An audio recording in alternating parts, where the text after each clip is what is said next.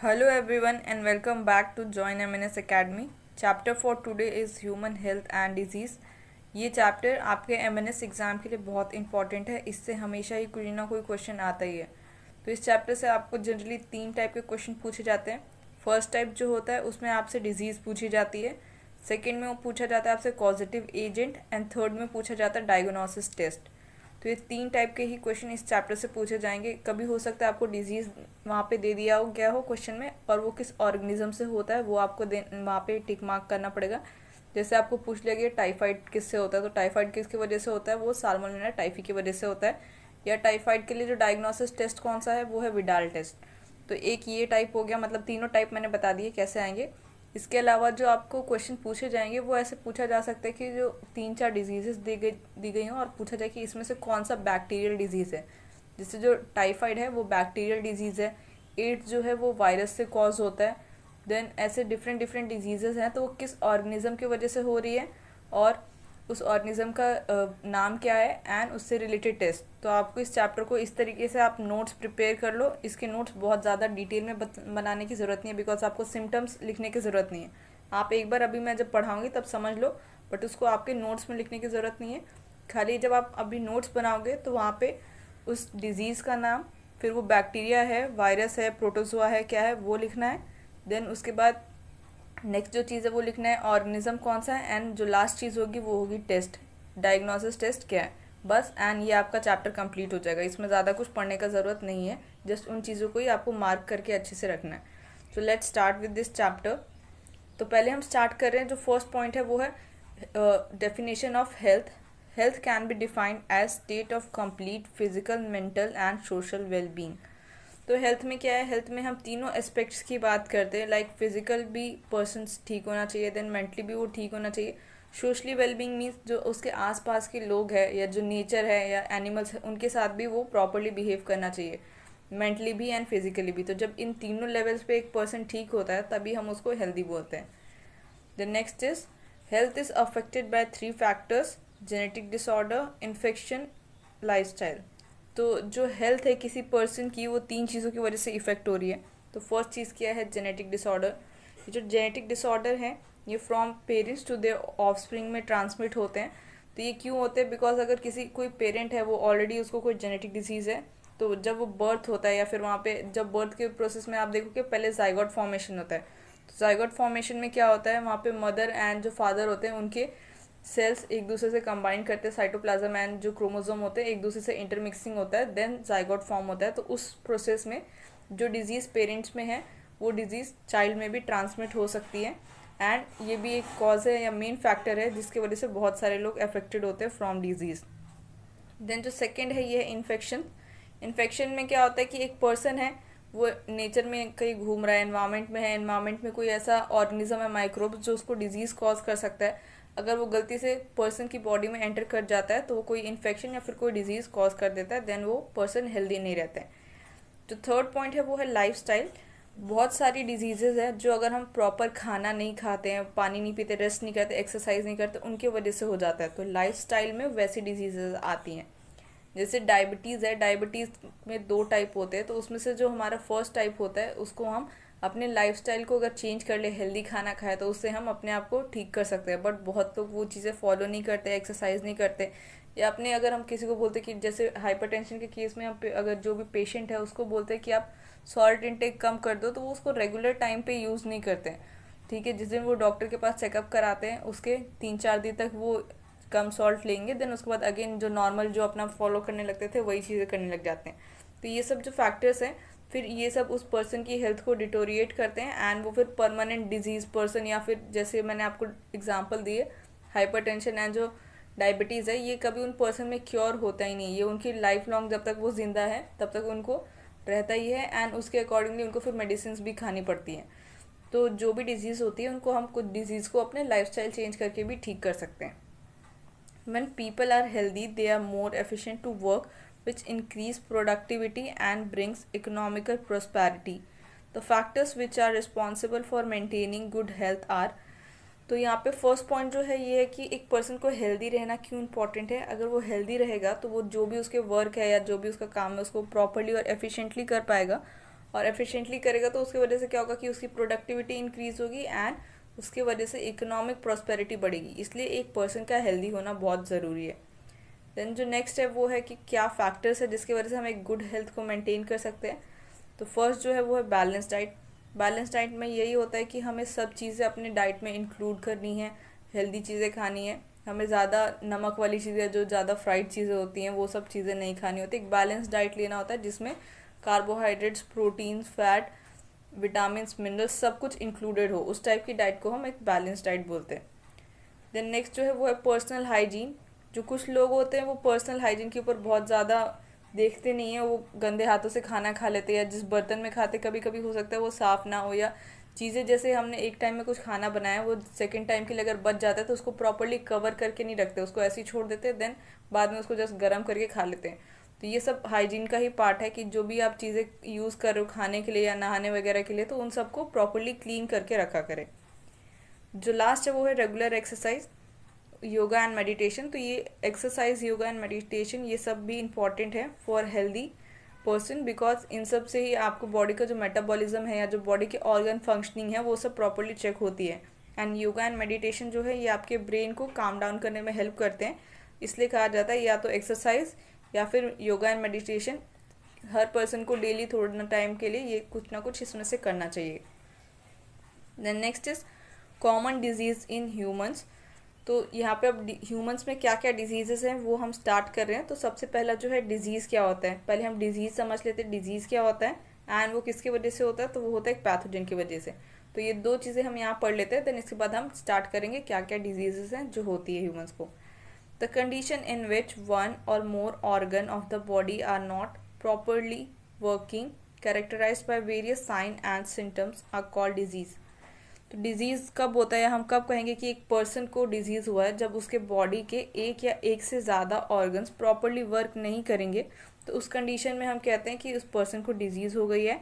And उस person में disease के कुछ स्पेसिफिक सिम्टम्स भी दिखते हैं, उसके कैरेक्टराइजेशन के बेस पे हम कहते हैं कि एक पर्सन है, वो डिज़ीज़ है।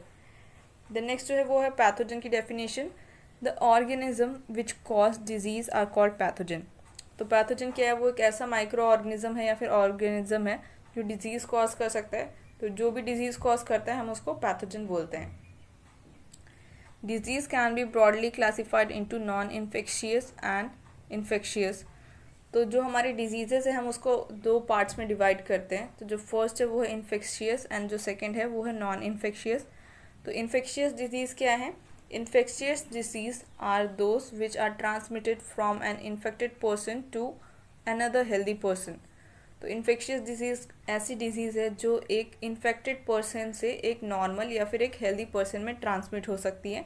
उसको हम इन्फेक्शियस डिज़ीज़ बोलते हैं। जैसे एड्स है, वो एक इन्फेक्शियस डिज़ीज़ है, जिसको अगर एड्स हुआ है, अगर वो एक हेल्दी पर्सन के कांटेक्ट में आता है तो उसको भी एड्स हो जाता है। तो इसलिए ये एड्स जो है, वो एक इन्फेक्शियस डिज़ीज़ है। The next is non-infectious disease.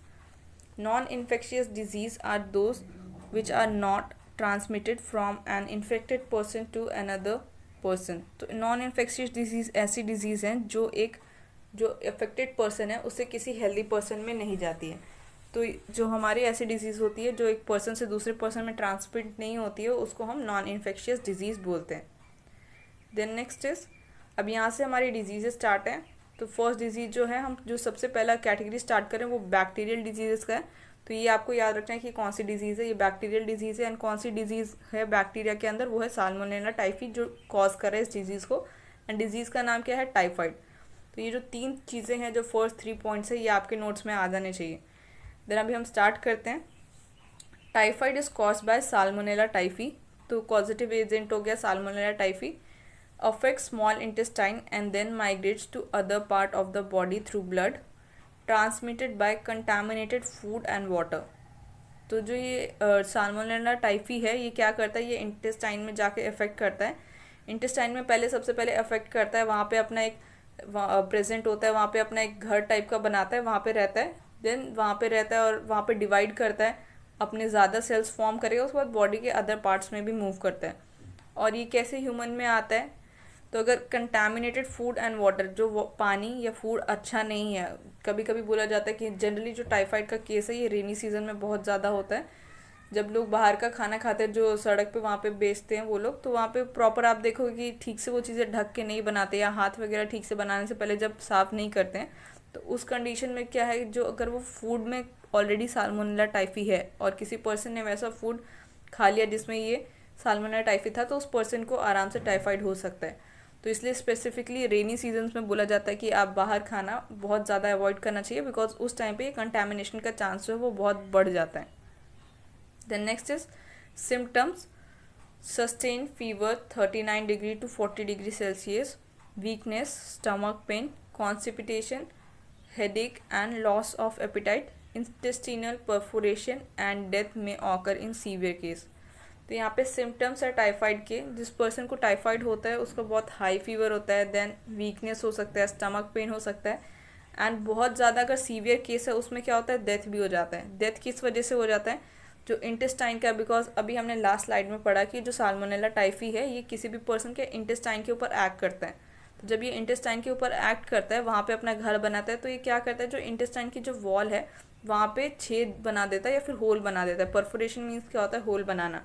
तो जब ये होल बना देता है तो उस पर्सन में बहुत ज़्यादा ब्लीडिंग होने लग जाती है एंड उस ब्लीडिंग की वजह से उस पर्सन की डेथ भी हो सकती है। देन नेक्स्ट क्या है?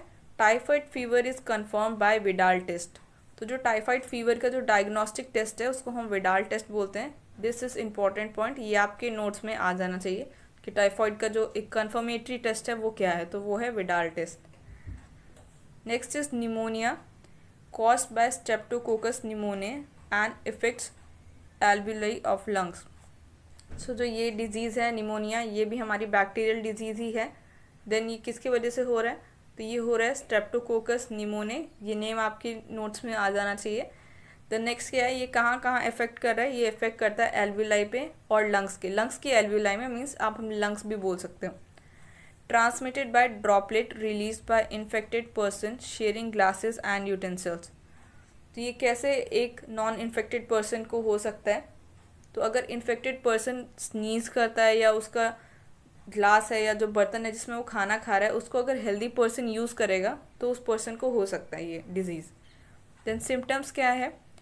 Fever chills cough and headache and severe cases lips and finger nails turn grey to bluish colour तो जो हमारा निमोनिया है, उसमें क्या होता है, इसमें भी अगेन फीवर्स होता है। चिल्स मतलब क्या होता है कि ठंडी लगती है उस पर्सन को, लेकिन उसके बाद भी उसका टेम्परेचर आप चेक करोगे तो बहुत ज़्यादा होता है। तो कभी कभी ऐसा होता है कि किसी को ठंडी लगती है देन उसके बाद फीवर चढ़ता है तो उसको हम चिल्स बोलते हैं। देन कॉफ हेडेक है। उसके अलावा सीवियर जो केसेस होते हैं, वहाँ पे जो लिप्स हैं, जो नेल्स होती है, उनका कलर जो है, वो ग्रे से ब्लूइश में चेंज हो जाता है in severe cases of pneumonia then pneumonia के लिए कोई हमारा स्पेसिफिक डायग्नोस्टिक टेस्ट नहीं है तो उसका नहीं पूछा जाएगा आपको। जो हम नेक्स्ट क्लास स्टार्ट करें वो है वायरल डिजीजेस तो वायरल डिजीजेस में जो फ़र्स्ट है वो है common cold and common cold is cause by rhinoviruses affects nose and respiratory organs transmitted by direct inhalation of droplets from cough and sneeze of infected person through contaminated objects like books, pen, cups, etc. तो अब जो rhino virus है ये कहाँ कहाँ effect करता है? ये नोज़ एंड रेस्पिरेटरी सिस्टम पे इफ़ेक्ट करता है। उसके अलावा अगर ये ट्रांसमिट कैसे होता है अगर एक नॉन इन्फेक्टेड पर्सन से इन्फेक्टेड पर्सन में जा रहा है इन्फेक्टेड से नॉन इन्फेक्टेड पर्सन में कैसे जा रहा है? तो अगर वो पर्सन है एक जगह पे कहीं स्नीज़ करता है तो स्नीज़ करने से जो ड्रॉपलेट्स होते हैं अगर वो एक नॉन इन्फेक्टेड पर्सन के कांटेक्ट में आता है तो उसको हो सकता है। अगेन अदर जो मेथड्स है अगर यहाँ पे भी हमने लास्ट केस में देखा, जैसे कंटेमिनेटेड अगर हम यूटेंसिल्स यूज़ कर रहे हैं ग्लास यूज़ कर रहे हैं, वैसे यहाँ पे भी हमने अगर कंटामिनेटेड ऑब्जेक्ट्स यूज़ किए यूटेंसिल्स हो या बुक्स पेन्स कुछ भी हो तो उस केस में भी ये ट्रांसमिट हो सकते हैं। देन ये जो है, ये हमारा सिम्टम्स है। Nasal congestion and discharge sore throat hoarseness cough are common symptoms तो नाक बंद हो जाना जो बोलते हैं, नाक से जो पानी आना होता है, गला दर्द होना या वॉइस चेंज हो जाती है, बहुत लोगों की आप देखोगे, जो कॉफ है, ये सब कॉमन सिम्टम्स हैं for common cold common cold का भी कोई स्पेसिफिक हमारा डायग्नोस्टिक टेस्ट नहीं है अगेन देन जो नेक्स्ट है, वो है प्रोटोजोआन डिज़ीज़ तो प्रोटोजोआन डिज़ीज़ जो है, वो है मलेरिया मलेरिया का ये जो दो पॉजिटिव एजेंट है, ये दोनों याद करने पड़ेंगे आपको. ये दोनों पूछे जाते हैं. सॉरी यहाँ पे तीन है, ये तीनों पूछे जाएँगे बट इंडिया में ओनली दो ही स्पीसीज है जिसकी वजह से डिज़ीज़ होता है. बट आप ये तीनों याद कर लेना। वैसे चार है बट आपके एन में ये तीन ही दिए हुए हैं। तो जो फ़र्स्ट स्पीसीज है, वो है प्लाज्मोडियम विवेक्स देन जो सेकेंड है, वो है प्लाज्मोडियम मलेरिया एंड जो थर्ड है, वो है प्लाज्मोडियम फेल्सीपेरम तो ये डिज़ीज़ जो है, इसमें कहाँ कहाँ इफ़ेक्ट होता है? तो अगर ये डिज़ीज़ किसी पर्सन को हो जाता है तो उसके लिवर एंड आरबीसी के ऊपर इफ़ेक्ट होता है। Transmits by biting of female anopheles mosquito which act as vector तो यहाँ पे ये जो पॉइंट है, ये भी इंपॉर्टेंट है। अभी तक जो भी हमने डिज़ीज़ देखा था, वो या तो ट्रांसमिट हो रहा था वाटर से एयर से। इस बार क्या है, इस बार डिज़ीज़ को ट्रांसमिट होने के लिए एक वेक्टर चाहिए, एक वाइकल चाहिए। तो वो वाइकल क्या है, वो है फीमेल एनाफिलिस मॉस्किटो ये जो फीमेल एनाफिलिस मॉस्किटो है, ये इस वैक्टर को पहले अपने बॉडी में लेता है देन ह्यूमन बॉडी में जाके इंटर कर देता है। उसके वजह से एक पर्सन को डिज़ीज़ हो जाता है। High fever occurring on alternate day chill vomiting are common symptoms तो मलेरिया में क्या है? यहाँ पे भी अगेन हाई फीवर होता है देन यहाँ पे भी ठंडी लग के बुखार होता है। उसके अलावा पर्सन को वॉमिटिंग भी हो सकती है। ये हमारे कॉमन सिम्टम्स है for malaria malarial parasite requires two host to complete their life cycle human and female anopheles mosquito तो ये जो मलेरियल पैरासाइट है इसको अपनी लाइफ साइकिल कंप्लीट करने के लिए दो होस्ट चाहिए। अगर इसमें से एक होस्ट भी नहीं है तो ये डिज़ीज़ कंप्लीट नहीं हो पाएगी या फिर जो मलेरिया है, उसका लाइफ साइकिल जो है वो कंप्लीट नहीं हो पाएगा। तो दो जो इसके होस्ट हैं, वो कौन है? एक है ह्यूमन एंड एक है anopheles mosquito life cycle of malarial parasite female anopheles mosquito bites a healthy human and inject sporozoite infective stage with bites तो अब हम मलेरियल पैरासाइट की लाइफ साइकिल पढ़ रहे हैं तो इसमें क्या कर रहे हैं कि जो फीमेल एनोफिलिस है, वो क्या करती है, वो एक ह्यूमन को हेल्दी ह्यूमन को बाइट करती है और जब वो बाइट करती है तो ये जो स्पोरोजॉइट है, ये ऑलरेडी स्पोरोजॉइट क्या है, ये मलेरिया का वो स्टेज है जब वो इनएक्टिव है बट अगर वो उसे एक्टिव कंडीशन मिली या एक्यूरेट कंडीशन मिलती है तो ये अपने आप को ग्रो कर सकता है इन अ मलेरियल पैरासाइट या फिर वो पूरा का पूरा एक प्लाज्मोडियम की फॉर्म में आ सकता है। जब स्पोरोजॉइट फॉर्म में है, तब वो इफ़ेक्ट नहीं कर रहे हैं। और जब वो पर्सन के ब्लड में एंटर कर जा रहा है ह्यूमन के ब्लड में तो वो एक्टिवेट होकर तब वहाँ पे वो डिज़ीज़ कर रहा है। तो ये जो इनएक्टिव फॉर्म में है, ये मॉस्किटो जब बाइट करके ह्यूमन बींग में एजेक्ट कर देता है और फिर ये स्पोरोजॉइड अपने आप को एक्टिवेट करके डिज़ीज़ कॉज करता है। Then next is the parasite reach the liver by through blood and start multiplying within the liver cells तो जैसे मैंने बोला कि जो स्पोरोजॉइड था वो इनएक्टिव स्टेट में था तो जब वो ब्लड में आया तो ब्लड से आके वो कहाँ जाता है? वो लिवर में जाता है एंड लिवर में मल्टीप्लाई करना स्टार्ट हो जाता है। मीन्स पहले तो वो जब ह्यूमन बॉडी में एंटर किया तो वो एक ही स्पोरोजॉइड था। तो मूव करके जब लिवर में जाएगा तो वो मल्टीपल स्पोरोजॉइड हंड्रेड से भी ज़्यादा स्पोरोजॉइड्स फॉर्म करेगा in the liver cells parasite then attack the red blood cells and reproduce asexually in red blood cells and rupture the red blood cells which release a toxin called hemozoin responsible for chill and high fever reoccurring every 3 to 4 hours. तो अब ये जो parasite है, इसने अपने आप को बहुत ज़्यादा मल्टीप्लाई कर लिया लिवर में, उसके बाद ये पूरे बॉडी में मूव करने लग जाता है। तो ये उसका जो नेक्स्ट टारगेट है, वो क्या है? अब इसका नेक्स्ट टारगेट जो है रेड ब्लड सेल्स है। ये रेड ब्लड सेल्स में जाता है, वहाँ पे ए सेक्शुअली रिप्रोड्यूस करता है।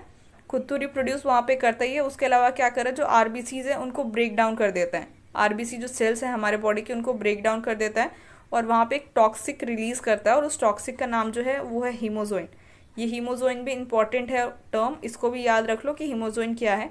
तो हीमोजोइन एक टॉक्सिक है जो हमारे RBC में से रिलीज़ होता है जब उस पर एक पैरासाइट अटैक करता है तब. तो इस हीमोजोइन की वजह से क्या होता है? इस हीमोजोइन की वजह से ही पर्सन को ठंड लगती है एंड हाई फीवर होता है और वो फीवर हर तीन चार घंटे के बाद आता है. Some of the parasite differentiate into male and female gametocyte which are taken up by mosquito during biting and sucking the blood. Formation of gamete and fertilization takes place in intestine of mosquito. तो ये जो parasite है वो जो parasite है उसमें भी कुछ मेल एंड फीमेल पैरासाइट्स होते हैं गैमेटोसाइट के स्टेज में होते हैं एंड ये मॉस्किटो के ब्लड में होते हैं और इनका फ्यूजन कहाँ होता है? ये जो मेल एंड फीमेल गैमेटोसाइट है, इनका जो फर्टिलाइजेशन होता है, ये इंटेस्टाइन में होता है ऑफ़ मॉस्किटो तो ये भी थोड़ा सा इंपॉर्टेंट है कि जो हमारा यहाँ पे जो जाइगॉट फॉर्म हो रहा है, जो फर्टिलाइजेशन हो रहा है पैरासाइट का वो कहाँ हो रहा है? तो फर्टिलाइजेशन हो रहा है पैरासाइट का in intestine of mosquito mosquito का जो इंटेस्टाइन है, वहाँ पे फर्टिलाइजेशन हो रहा है of male and female gametocytes of the parasite या जो हमारा पैरासाइट क्या है? हमारा पैरासाइट है फैल्सीपेरम मलेरी एंड मैलेलाई जो तीन पैरासाइट है, उनका जो इंटेस्टाइन में हो रहा है फर्टिलाइजेशन उसके लिए। Next is the zygote develops and forms thousand of sporozoite and migrate into salivary gland of the mosquito. अब ये जो जाइगोट कहाँ फॉर्म हुआ था, ये इंटेस्टाइन में फॉर्म हो रहा था मॉस्किटो के। अब जब जाइगोट वहाँ फॉर्म हो गया तो बहुत सारे वो स्पोरोजॉइड्स में डेवलप करता है, एंड ये जो स्पोरोजॉइड है, ये मले, जो मॉस्किटो है, उसके सलाइवरी ग्लैंड में आ जाते हैं। When mosquito bites another human the sporozoites are injected अब जब ये मॉस्किटो के सलाइवरी ग्लैंड में आ गए हैं तो जब मॉस्किटो एक पर्सन को ह्यूमन को बाइट करेगा तो ये जो स्पोरोजॉइड्स हैं, ये उसके ब्लड में एंटर कर जाएँगे बिकॉज़ सलाइवरी ग्लैंड जो है वो मॉस्किटो के माउथ में ही होता है। एंड जब मॉस्किटो बाइट करता है तो ये धीरे धीरे वहाँ पे चले जाते हैं in case of human then ये लाइफ साइकिल है प्लाज्मोडियम का कि वो कैसे इफ़ेक्ट कर रहा है। तो सबसे पहले हम यहाँ से स्टार्ट करते हैं कि ये चलो मॉस्किटो ने बाइट किया है। मॉस्किटो ने बाइट किया तो जो भी उसके स्पोरोजॉइड्स थे, वो ब्लड में रिलीज़ हो गए। ब्लड में रिलीज़ होने के बाद वो कहाँ आ गए? लिवर में आ गए। लिवर में ये स्पोरोजॉइड्स क्या कर रहे हैं? अब डिवाइड कर रहे हैं। ये देखो, यहाँ पे एक आया था, अब उसने डिवाइड करके इतने सारे सेल्स बना दिए। अब ये जो स्पोरोजॉइड्स है, ये जो सर्कल टाइप का सेल है, ये ये हमारा आरबीसी है। अब ये स्पोरोजॉइड क्या कर रहा है? ये आरबीसी में जा रहा है। आरबीसी में जाके वहाँ पे अपने आप को मल्टीप्लाई कर रहा है अगेन मल्टीप्लाई करने के बाद क्या कर रहा है? उस सेल को रप्चर कर दे रहा है। और इसको रप्चर करने की वजह से ही वहाँ पे क्या हो रहा है? रप्चर होने के बाद वहाँ पे हीमोजोइन रिलीज़ हो रहा है और हीमोजोइन की वजह से ही हाई फीवर होता है उन केस ऑफ़ पर्सन देन यहाँ पे क्या है ये दिखाया गया है कि हमारा मेल एंड फीमेल गैमेट है, ये अलग अलग है। तो जब मेल एंड फीमेल गैमेट अलग है, इनका फ्यूजन क्या होता है? अगेन मॉस्किटो जब बाइट करता है तो ये उसके माउथ से ब्लड में आता है। एंड ये जो मॉस्किटो ने बाइट किया है तो इसके इंटेस्टाइन में, इस मॉस्किटो के इंटेस्टाइन में अब क्या हो रहा है? वहाँ पे होगा फर्टिलाइजेशन एंड फर्टिलाइजेशन के बाद अगेन स्पोरोजॉइड्स फॉर्म होंगे एंड ये स्पोरोजॉइड्स आ जाएँगे उसके सलाइवरी ग्लैंड में। ये मॉस्किटो का सलाइवरी ग्लैंड है। एंड अगेन जब ये मॉस्किटो बाइट करेगा तो ये इसके बॉडी में एंटर करेगा पहले। देन उसके माउथ से यहाँ पे जा रहे ये ये वाला स्टेज जो है, ये जब उसके इंटेस्टाइन में यहाँ पे फर्टिलाइजेशन हो गया, उसके बाद का है। जब उसने बहुत सारे स्पोरोजॉइड्स बना लिए, उसके सलाइवरी ग्लैंड में, ये देखो यहाँ पे सलाइवरी ग्लैंड लिखा है। अब जब उसके सलाइवरी ग्लैंड में आ गया है तो जब वो अगेन ह्यूमन को बाइट करेगा तो उसके ब्लड में जाएगा। तो ये साइकिल है, देखोगे कि ये रिपीट होगा स्टार्टिंग फ्रॉम एनी स्टेज आप कहीं से भी स्टार्ट कर लो भले यहाँ से स्टार्ट कर लो कि उसके इंटेस्टाइन में पहले फॉर्म हुए गैमेटोसाइट्स या यहाँ से स्टार्ट कर लो ह्यूमन ने बाइट किया है, वो घूम फिर के एक ही स्टेज पे वहाँ पे आए गए सो ये हमारा लाइफ साइकिल था प्लाज्मोडियम का। इसमें तीन चार चीज़ें इंपॉर्टेंट थी। एक तो कौन सा पॉजिटिव एजेंट है? वो तो हमारे तीन पॉजिटिव एजेंट है। देन नेक्स्ट क्या है कि ये कहाँ ह्यूमन में कहाँ इफ़ेक्ट करता है? तो ह्यूमन में ये लिवर पे और आरबीसी पे इफ़ेक्ट करता है। उसके अलावा इसके कितने होस्ट हैं? तो इसके अगेन हमारे दो होस्ट हैं, एक ह्यूमन है, एक मॉस्किटो है। और यहाँ पे फर्टिलाइजेशन कहाँ हो रहा है? पैरासाइट का तो पैरासाइट का जो फर्टिलाइजेशन है, वो मॉस्किटो के इंटेस्टाइन में हो रहा है। देन नेक्स्ट जो डिज़ीज़ है, ये है एमीबॉइसिस या इसको एमीबॉइक डिसेंट्री भी कहते हैं। ये भी एक प्रोटोजोआन डिज़ीज़ है कॉस्ड बाय एंट हिस्टोलिटिका तो ये ऑर्गेनिज्म है जिसके वजह से ये डिज़ीज़ होती है तो उसका नाम है entamoeba histolytica large intestine of man transmitted by house fly which as mechanical carrier food contaminated with cyst of entamoeba तो ये ट्रांसमिट किसके वजह से हो रहा है? यहाँ पे जैसे हमारे लास्ट में जो वेक्टर था, वो क्या था? वेक्टर हमारा वहाँ पे था मॉस्किटो तो यहाँ पे जो वेक्टर है, वो क्या है? ये हाउस फ्लाई हाउस फ्लाई क्या करती है? ये जो हमारा सिस्ट होगा, सिस्ट क्या होता है? सिस्ट भी अगेन एक ऐसा स्टेज होता है एंट अमीबा का, जहाँ पे ये इनएक्टिव है और जब इसको फेवरेबल कंडीशन मिलती है तो ये अपने आप को डिवाइड करता है और वहाँ पे एक्टिवेट कर देता है। तो क्या हो रहा है कि जो हाउस फ्लाई है, वो कंटेमिनेशन फ़ूड में जाके कर देती है of cyst of entamoeba histolytica का। तो इसके सिम्टम्स क्या हैं? Constipation abdominal pain cramps stool with mucus and blood clots तो ये यहाँ पे सिम्टम्स है। ये क्या क्या सिम्टम्स है? जैसे एबडोमिनल पेन हो सकता है, उस पर्सन को क्रैम्प्स हो सकता है स्टूल में म्यूकस या फिर ब्लड के भी क्लॉट्स हो सकते हैं। तो ये सारी सिम्टम्स है for amoebiasis next is helminthic disease या जो हमारे प्लेटी हेलमेंथिस है, उनसे जो डिज़ीज़ होती है, उनको हम हेलमेंथिक डिज़ीज़ में पढ़ेंगे। तो जो फ़र्स्ट डिज़ीज़ है, वो है एस्कैरियसिस एंड इसका पॉजिटिव एजेंट है एस्कैरियसिस लुम्ब्रिकॉइड्स देन ये इफ़ेक्ट कहाँ करता है? तो ये इफ़ेक्ट करता है ह्यूमन इंटेस्टाइन पे transmitted by contaminated water vegetable fruits etc तो ये ट्रांसमिट कैसे हो रहा है? ये ट्रांसमिट तब हो रहा है जब एक पर्सन जो हेल्दी पर्सन है, वो ऐसा फ़ूड या फ्रूट वेजिटेबल या वाटर खाता है जिसमें ऑलरेडी ये एस्कैरियासिस लुमरिकॉइड प्रेजेंट होता है। देन इसके सिम्टम्स क्या हैं? इसके सिम्टम्स हैं internal bleeding muscular pain fever anaemia blockage of intestinal passage तो ये सब हमारे कॉमन सिम्टम्स हैं for ascariasis next is filariasis और एलिफेंटाइटिस तो ये डिज़ीज़ भी अगेन हेलमिंथिस की वजह से होते हैं. इसका पॉजिटिव एजेंट क्या है? Cause by wuchereria bancrofti and wuchereria malayi तो ये दो पॉजिटिव एजेंट है फॉर फाइलरेसिस और elephantiasis affects lymphatic vessel of the lower limbs genital organs तो ये कहाँ कहाँ इफ़ेक्ट करता है? ये जो लोअर लिम मीन्स जो लेग्स हैं लेग्स के जो लिम्फेटिक वेसल्स हैं, वहाँ पे एक्ट करता है एंड उसके अलावा जो जेनाइटल ऑर्गन्स हैं, उनके ऊपर ये अफेक्ट करता है। Transmitted by biting of infected female culex mosquito तो इसका भी अगेन वेक्टर क्या है या किसकी वजह से हो रहा है? तो ये भी यहाँ पे मॉस्किटो एक्ट कर रहा है, बीच में कैरियर की तरह। और यहाँ पे जो मॉस्किटो फीमेल क्यूलिक्स है वो इन्फेक्ट करती है। लास्ट में जो एनोफिलस थी यहाँ पे क्यूलिक्स है। देन सिम्टम्स क्या है? Chronic inflammation of organ where the live abnormal swelling of the lower limbs scrotum penis and are common symptoms तो क्रोनिक इन्फ्लोमेशन मीन्स जो ऑर्गन्स है जहाँ पे ये आ, हमारा माइक्रो एक्ट करेगा वहाँ पे बहुत ज़्यादा स्वेलिंग होगी दर्द होगी उसके अलावा ये जनरली लोअर लिम्स में या लेग्स पे अफेक्ट करता है, इसलिए जो लोअर पार्ट है बॉडी का, जो हमारे बॉडी के लोअर पार्ट होते हैं, कमर से नीचे के पार्ट वहाँ पे ये एक्ट करता है और वहाँ पे ये डिज़ीज़ या फिर कोई भी अपने सिम्टम्स शो करता है। नेक्स्ट इज़ फंगल डिज़ीज़ तो फंगल डिज़ीज़ में जो फ़र्स्ट डिज़ीज़ है, वो है ringworm and ringworm is caused by microsporum trichophyton epidermophyton तो ये तीन हमारे ऑर्गेनिज्म है जिसकी वजह से रिंग वॉम डिज़ीज़ होता है। Affect skin nails folds of skin groin तो ये कहाँ कहाँ इफ़ेक्ट कर रहा है? तो ये स्किन नेल्स और फोल्ड्स ऑफ़ स्किन या फिर ग्रोइन पे इफ़ेक्ट करता है। Transmitted by sharing towel clothes और even comb with infected person तो यहाँ पे जो हमने पहले पढ़ा था पर्सनल हाइजीन वो यहाँ पे एक्ट में आता है। अगर आप किसी ऐसे इन्फेक्टेड पर्सन है, जिसको ऑलरेडी ये रिंग वॉर्म हो रखी है या जो रिंग डिज़ीज़ हुई हुई है, इसको हम रिंग डिज़ीज़ भी बोलते हैं। ये जो तीनों हैं, इनको हम रिंग वॉर्म बोलते हैं।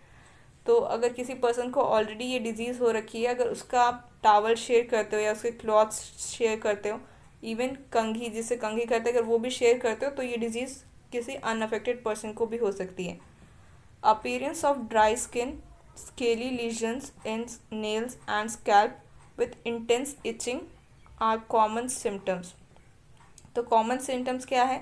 स्किन जहाँ पे ये अफेक्ट करेगा, वो ड्राई हो जाएगा स्केली हो जाएगा अगर ये हेयर्स पे अफेक्ट कर रहा है तो जो स्कैल्प है स्कैल्प में बहुत इंटेंस इचिंग मीन्स खुजली होती है इन केस ऑफ़ इफ़ किसी पर्सन को रिंग वॉर्म्स ने कॉज किया हुआ है या रिंग डिज़ीज़ किसी पर्सन को हो गई है then heat and moisture help this fungi to grow तो ये जो फंगाई है, ये कब ग्रो करते हैं? अगर किसी ऐसे ऑर्गन पे या किसी ऐसे एरिया में जहाँ पे हीट भी है एंड मॉइस्चर भी प्रेजेंट है तो उसकी वजह से ये जो फंगाई है, ये बहुत अच्छे से वहाँ पे ग्रो करते हैं और ये जल्दी ठीक भी नहीं होता है।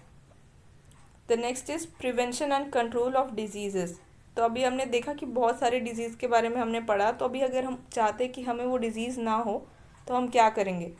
Maintenance of hygiene is very important for prevention and control of disease measure for hygiene include the body clean consumption of clean drinking water food, vegetable, fruits, proper disposal of waste and excreta, periodic cleaning and disinfection of water reservoirs, pools, cess pools and tanks.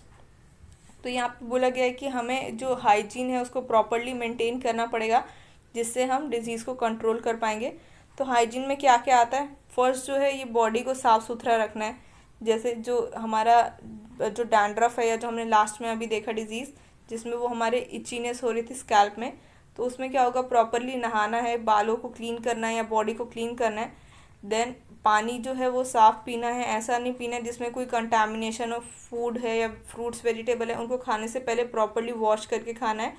जो waste होता है, कहीं आपने बहुत जगह देखा होगा कि जो सीवेज पाइप्स होती हैं, वो ऐसी होती है तो कहीं पे भी कचरा फैला रहता है, उसके ऊपर मक्खी आती है देन डिज़ीज़ होता है। तो वो सब नहीं होना चाहिए। उसके अलावा जहाँ पानी स्टोर किया जाता है टैंक में उस टैंक को भी रेगुलर क्लीन करना चाहिए कि वहाँ पे कोई ऑर्गेनिज्म ग्रो ना कर पाए और कहीं पे पानी को भी बहुत दिन तक इकट्ठा नहीं होने देना चाहिए, उसको भी क्लीन करना चाहिए क्योंकि वहाँ से भी हमारे मॉस्किटो वाले डिज़ीज़ बहुत सारे फैलते हैं। जैसे कि ये जो डेंगू है, मलेरिया, ये सब पानी कहीं पे इकट्ठा होता है तो वहीं पे ये मॉस्किटो ग्रो करते हैं, उसकी वजह से ये डिजीज़ेज होती हैं। तो ये हमारा टाइप्स है, या जो ये हमारे मेथड्स है जिसकी वजह से हम किसी डिज़ीज़ को कंट्रोल कर सकते हैं। In case of airborne disease close contact with the infected person and his belonging should be avoided तो जो एयर की वजह से डिज़ीज़ होती है, जैसे हमने कॉमन कोल्ड देखा था, उसमें क्या था, एक पर्सन स्नीज भी कर रहा था तो जो ड्रॉपलेट्स थे या निमोनिया के केस में भी, वो ड्रॉपलेट्स एक इन्फेक्टेड पर्सन के नॉन इन्फेक्टेड पर्सन को भी कॉज कर रहे थे। तो वैसे केसेस में अगर कोई इन्फेक्टेड पर्सन है तो हमें उसके पास नहीं जाना चाहिए, उससे दूर रहना चाहिए और उसकी जो चीज़ें हैं, जैसे जिस बर्तन में वो खाना खा रहे हैं, उन सबसे भी दूर रहना चाहिए। For vector borne disease such as malaria and filariasis the measure to control disease are control और eliminate the vector and their breeding places avoid stagnation of water in and around residential area तो जो vector bond disease थी, जहाँ पे mosquito career की तरह act कर रहा था, जैसे मलेरिया और फाइलरिसिस में, उस, उन टाइप के डिज़ीज़ में क्या करना चाहिए? उन टाइप की डिसीज़ में हमें क्या करना चाहिए? हमें ट्राई करना चाहिए कि वेक्टर जो मॉस्किटो है, अभी तो मॉस्किटो को मारने के लिए स्प्रे किया जाता है। तो हमें वैसे स्प्रे जहाँ पे हम रहते हैं, वहाँ पे करवाना चाहिए जिससे मॉस्किटो मर जाए। या दूसरा काम क्या है? हम क्या कर सकते हैं कि कहीं पे वाटर का स्टैगनेशन जैसे कोई सड़क पे गड्ढा होता है या कहीं आसपास में गड्ढा होता है तो उसमें पानी जो इकट्ठा हो जाता है, उसके वजह से वहाँ पे वो मॉस्किटो ब्रीड करता है और अपना नंबर को बढ़ाता है देन वो आके हमें डिज़ीज़ कॉज करता है। तो वो जो स्टैगनेटेड वाटर है, उसको हम जहाँ पे रहते हैं, आसपास उसको स्टैगनेशन नहीं रहने देना चाहिए, उसको हमें क्लीन करवा देना चाहिए। Regular cleaning of household coolers use of mosquito nets introducing fishes like gambusia ponds that feed on mosquito larvae spraying of insecticides in ditches drainage areas and swamps तो जो हाउस होल्ड कूलर्स होते हैं, अगर ये coolers भी बाहर पड़े रहते हैं ओपन में तो क्या होता है कि जो इनमें भी आप देखोगे, वहाँ पे भी वाटर स्टोर करने का प्लेस होता है। तो अगेन उस वाटर में भी मॉस्किटो और बहुत सारे डिज़ीज़ कॉजिंग ऑर्गेनिज्म ग्रो करते हैं। तो उसको भी हमें क्लीन करना चाहिए। देन सोने के टाइम मॉस्किटो नेट्स को यूज़ करना चाहिए। उसके अलावा क्या कर सकते हैं, जो ये पॉन्ड्स होते हैं, जहाँ पे फिशिंग की जाती है, उन पॉन्ड्स में हम गैम्बूसिया ये एक फ़िश का नाम है, ये भी इंपॉर्टेंट है, इसको भी आप नोट करना। ये फ़िश है, ये गैम्बूसिया ये क्या करता है, जो मॉस्किटो के लार्वे होते हैं, उसको खा जाता है। तो अगर ये मॉस्किटो को लार्वे को खा लेगा तो मॉस्किटो आगे ग्रो नहीं कर पाएगा देन वो डिज़ीज़ कॉज नहीं करेगा। इसलिए जहाँ पे भी पॉन्ड्स है, वहाँ पे ये गैम्बोसियन फ़िश को डाल दिया जाता है। तो ये गैम्बोसियन फ़िश जो है, ये भी थोड़ा इंपॉर्टेंट है, इसका यूज़ क्या है, ये आपको आपके नोट्स में लिखना है। उसके अलावा हम स्प्रे कर सकते हैं इंसेक्टिसाइड जिसकी वजह से इंसेक्ट्स वगैरह मर जाए। जहाँ पे भी ड्रेनेज एरिया है, जो पानी कहीं पे इकट्ठा हो गया, उन जगह पे हम इन सब चीज़ों का स्प्रे कर सकते हैं।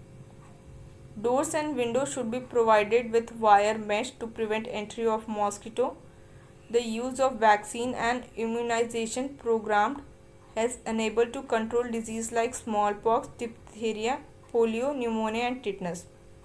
तो जो डोर्स होते हैं आपने बहुत सारे घरों में देखा होगा कि वहाँ पे एक जाली जिसको हम हिंदी में बोलते हैं वैसे वायर मैश नहीं होती है तो जितने भी विंडोज़ एंड डोर है वहाँ पे ट्राई करना चाहिए कि हम वैसे एक वायर मैश लगा दें जिसकी वजह से मॉस्किटो अंदर नहीं घुस पाएगा उसके अलावा जो वैक्सीनेशन एंड इम्यूनाइजेशन प्रोग्राम्स है, इनको भी टाइम टाइम पे करवाना चाहिए। एंड ये पर्सन की भी रिस्पॉन्सिबिलिटी है ह्यूमन की, कि हमें भी जाके उन वैक्सीन को लेना है।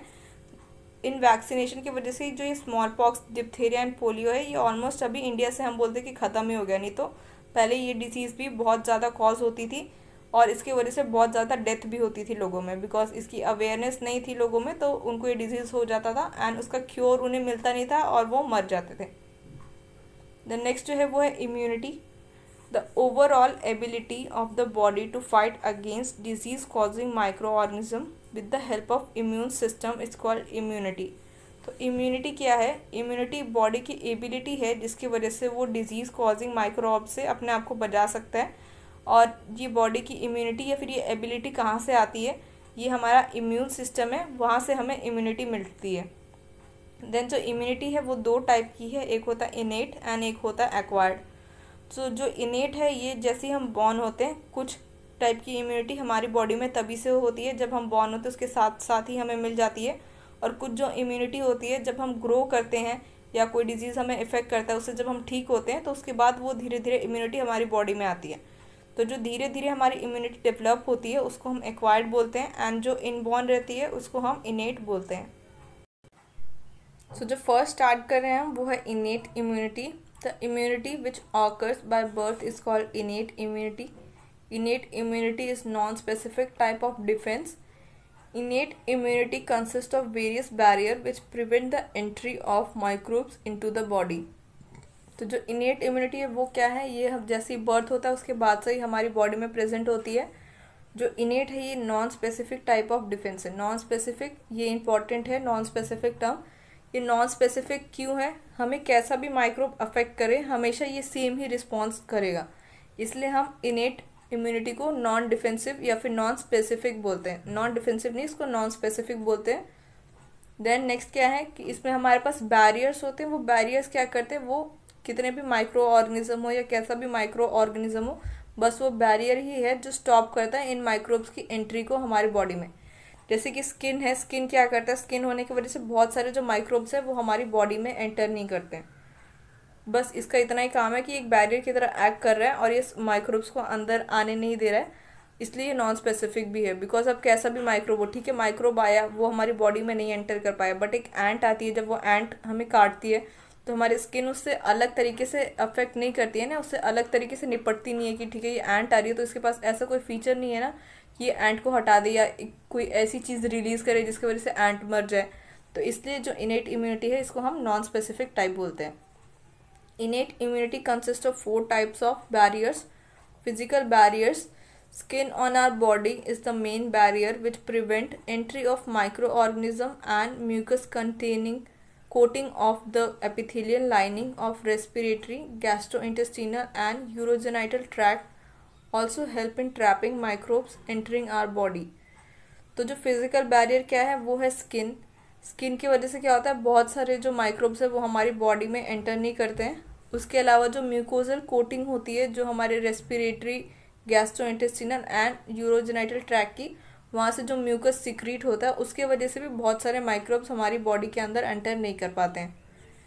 जो नेक्स्ट है, वो है physiological barriers acid in stomach saliva in mouth tears in eyes all prevent microbial growth तो जो स्टमक का एसिड है, जैसे आपको पता होगा, ये हमने डाइजेशन वाले चैप्टर में पढ़ा था कि स्टमक का जो पीएच है, वो बहुत ज़्यादा एसिडिक होता है। उस एसिडिक पीएच की वजह से बहुत सारे माइक्रोब्स वहाँ पे मर जाते हैं। या जो आइज़ से जो टीयर्स निकलता है, उसका भी पीएच डिफरेंट होता है, वहाँ से भी बहुत सारे माइक्रोब्स मर जाते हैं। तो ये हमारे फिजियोलॉजिकल बैरियर की तरह एक्ट करते हैं। Next is cellular barrier two types of leukocytes W B C in our body like polymorphonuclear leukocyte and monocyte and natural killer cells in the blood as well as macrophages in tissue can phagocytosis and destroy microbes तो जो next है वो है cellular barrier cellular barrier में क्या है? ये हमारे बॉडी के डिफरेंट टाइप्स ऑफ़ सेल हैं. W B C W B C का ही एक टाइप होता है, जिसको हम P M N L neutrophils बोलते हैं. तो जो न्यूट्रोफिल्स है या जो मोनोसाइट है या नेचुरल किलर सेल्स है, ये सब क्या करता है? अगर हमारे बॉडी में माइक्रोब्स एंटर कर जाते हैं तो ये उन माइक्रोब्स को क्या करता है? खा लेता है। फैगोटाइसाइटोसिस में क्या होता है? ये उसको पूरा खा लेता है एंड अपने अंदर लेने के बाद वहाँ पे ये डिस्ट्रॉय कर देता है उस माइक्रोब को। लास्ट जो है, वो है cytokine barrier viruses infected cells secrete protein called interferons which protect non infected cell from further viral infection तो साइटोकाइन बैरियर क्या है? साइटोकाइन एक ऐसा टाइप का सिक्रीशन होता है। अगर किसी मान लो ये सेल है, इसके ऊपर वायरस ने अफेक्ट कर दिया है तो ये सेल क्या करेगा? ऐसी सिक्रीशन रिलीज़ करेगा, जिसके वजह से इसके आसपास के सेल को पता चल जाएगा कि वायरस ने अफेक्ट किया है तो ये अपने आप को प्रिपेयर कर लेंगे कि ये वायरस फर्दर उनको अफेक्ट ना कर पाए। तो साइटोकाइन बैरियर जो है, ये ऐसा टाइप का बैरियर है और इससे जो सिक्रीशन निकलता है, उसको हम इंटरफेरॉन्स बोलते हैं। द नेक्स्ट जो है, वो है acquired immunity the immunity which develops during lifetime by exposure of suitable foreign agent like microbe is called acquired immunity तो एक्वायर्ड इम्यूनिटी क्या है? ये ऐसी इम्यूनिटी है जो एक पर्सन में लाइफ टाइम में धीरे धीरे डेवलप होती है, जब उस पर्सन को एक फॉरेन एजेंट या फिर एक माइक्रो ऑर्गेनिज्म अफेक्ट करता है तब। Acquired immunity is pathogen specific and is characterize by memory तो एक्वायर्ड इम्यूनिटी क्या है? ये स्पेसिफिक है। स्पेसिफिक कैसे है? मान लो अभी एक पर्सन है, ये एक पर्सन है, इसको ये कोई डिज़ीज़ हुई है यहाँ पे, जैसे जिसके हम वैक्सीन्स लेते हैं पोलियो का लेते हैं, मान लो ये पोलियो है, ये पोलियो वायरस है, इसने पर्सन को इफ़ेक्ट कर दिया। या पोलियो वायरस में तो हम क्या करते हैं पर्सन को पहले ही हम वैक्सीनेशन दे दी जाती है कि पोलियो से आप इफ़ेक्ट नहीं होगे। तो क्या होता है उसमें कि इसने जो पोलियो वैक्सीन दी जाती है, उसमें जो पोलियो है वायरस है, उसको हम मार देते किल करके उसका एक इनएक्टिव फॉर्म दे देते इस पर्सन के अंदर। जो भी हमारा ह्यूमन है तो उसके ह्यूमन के जो बॉडी के जो सेल्स है, वो इसके धीरे धीरे देख के इसके अगेंस्ट अपने आप को प्रिपेयर कर लेते हैं। तो अगर ये डिज़ीज़ उस पर्सन को अगर ऐसा माइक्रो जिसकी वजह से पोलियो होता है, अगर वो उसकी बॉडी में एंटर भी करता है तो उसको ये डिज़ीज़ नहीं होती है। When the body first encounters the pathogen it produces a response which take long time to develop and low intensity called primary immune response and if body encounters the same pathogen, it produce highly intense and quick response called as secondary immune response. तो again हम यहाँ पे एक example लेते हैं जो chicken pox होता है। तो चिकन पॉक्स में क्या होता है कि जो पर्सन जब इफ़ेक्ट होता है, जब फ़र्स्ट टाइम इफ़ेक्ट होता है तो आपने देखा होगा कि ये सब कोई, मैंने सुना है कि सब कोई ऑलमोस्ट होता है जब वो छोटे होते हैं। तो उनको क्या होता है कि जब फ़र्स्ट टाइम होता है तो बहुत ज़्यादा होता है, बहुत ज़्यादा उनकी बॉडी पे बड़े बड़े से पिंपल्स टाइप के तो पिंपल्स तो नहीं बोलते, उनको कुछ और बोलते, बहुत बड़े बड़े से फोड़े टाइप के, उनकी पूरी बॉडी में हो जाते हैं। तो जब फ़र्स्ट टाइम होता है तो बहुत ज़्यादा सीवियर होता है या बहुत ज़्यादा पेन होता है बिकॉज़ उनका ये फ़र्स्ट टाइम उस जो भी वायरस है, उसके वजह से इफ़ेक्ट हुआ है। तो जो उनके बॉडी के इम्यून सेल्स हैं, जो इम्यूनिटी प्रोवाइड करते हैं, उनको बहुत ज़्यादा टाइम लग जाता है, इसलिए जो उसको हम प्राइमरी इम्यून रिस्पॉन्स बोलते हैं, जब उस ऑर्गेनिज्म से फ़र्स्ट टाइम इफ़ेक्ट करते हैं। तो जो फ़र्स्ट इम्यून सिस्टम होता है, जो प्राइमरी इम्यून रिस्पॉन्स होता है, उसको डेवलप होने में लॉन्ग टाइम लगता है और वो धीरे धीरे इन माइक्रोब से निपटता है। बट अगर अगेन जिस वायरस वो जो चिकन पॉक्स वायरस एक बार आप ठीक हो गए, अगर अगेन आप उससे इन्फेक्ट हुए तो इस टाइम आपके बॉडी के सेल्स को पता है कि ठीक है, ये जो वायरस है, ये एक बार पहले भी आया था, मुझे पता है इसे कैसे निपटना है। तो इस बार आपका इम्यून सिस्टम क्या करता है? वो सेकेंडरी इम्यून रिस्पॉन्स को स्टार्ट करता है। और ये जो सेकेंडरी इम्यून सिस्टम है रिस्पॉन्स ये बहुत जल्दी हो जाता है। तो इस बार अगर वो वायरस आपकी बॉडी में अगर लास्ट टाइम आपको टेन डेज़ ठीक होने में लगे थे तो इस बार हो सकता है आप टू या थ्री डेज़ में ही ठीक हो जाओ। बिकॉज़ अब जो आपकी बॉडी करी है, वो सेकेंडरी इम्यून रिस्पॉन्स है। और सेकेंडरी इम्यून रिस्पॉन्स जो है, वो बहुत क्विक होता है और बहुत हाईली इंटेंसिफाइड होता है। जैसे प्राइमरी वाला था, उसमें धीरे धीरे ये लड़ रहे थे, जो वायरस आ रहा था, यहाँ पे बहुत क्विकली उनके साथ लड़ते हैं उनको किल कर देते हैं। Next is after responding to foreign microbes and elimination of the pathogen the immune system keeps the memory of that encounter primary response and during its second encounter with same pathogen produce high intensified response called secondary response तो first response जो हुआ था, जहाँ पे धीरे धीरे आपके sales लड़ रहे थे, उस पैथोजन से उस रिस्पॉन्स को हम प्राइमरी रिस्पॉन्स बोलते हैं। एंड ये जो प्राइमरी रिस्पॉन्स है, इसकी वजह से हमारी बॉडी में कुछ मेमोरी सेल्स फॉर्म हो जाते हैं। एंड जब अगेन अगर वही पैथोजन आपको दोबारा अफेक्ट कर रहा है तो ये जो हमारे मेमोरी सेल्स हैं, ये एक्टिवेट हो जाते हैं और ये सेकेंड टाइम में एक higher intensified immune response show करते हैं, जिसको हम सेकेंडरी रिस्पॉन्स बोलते हैं।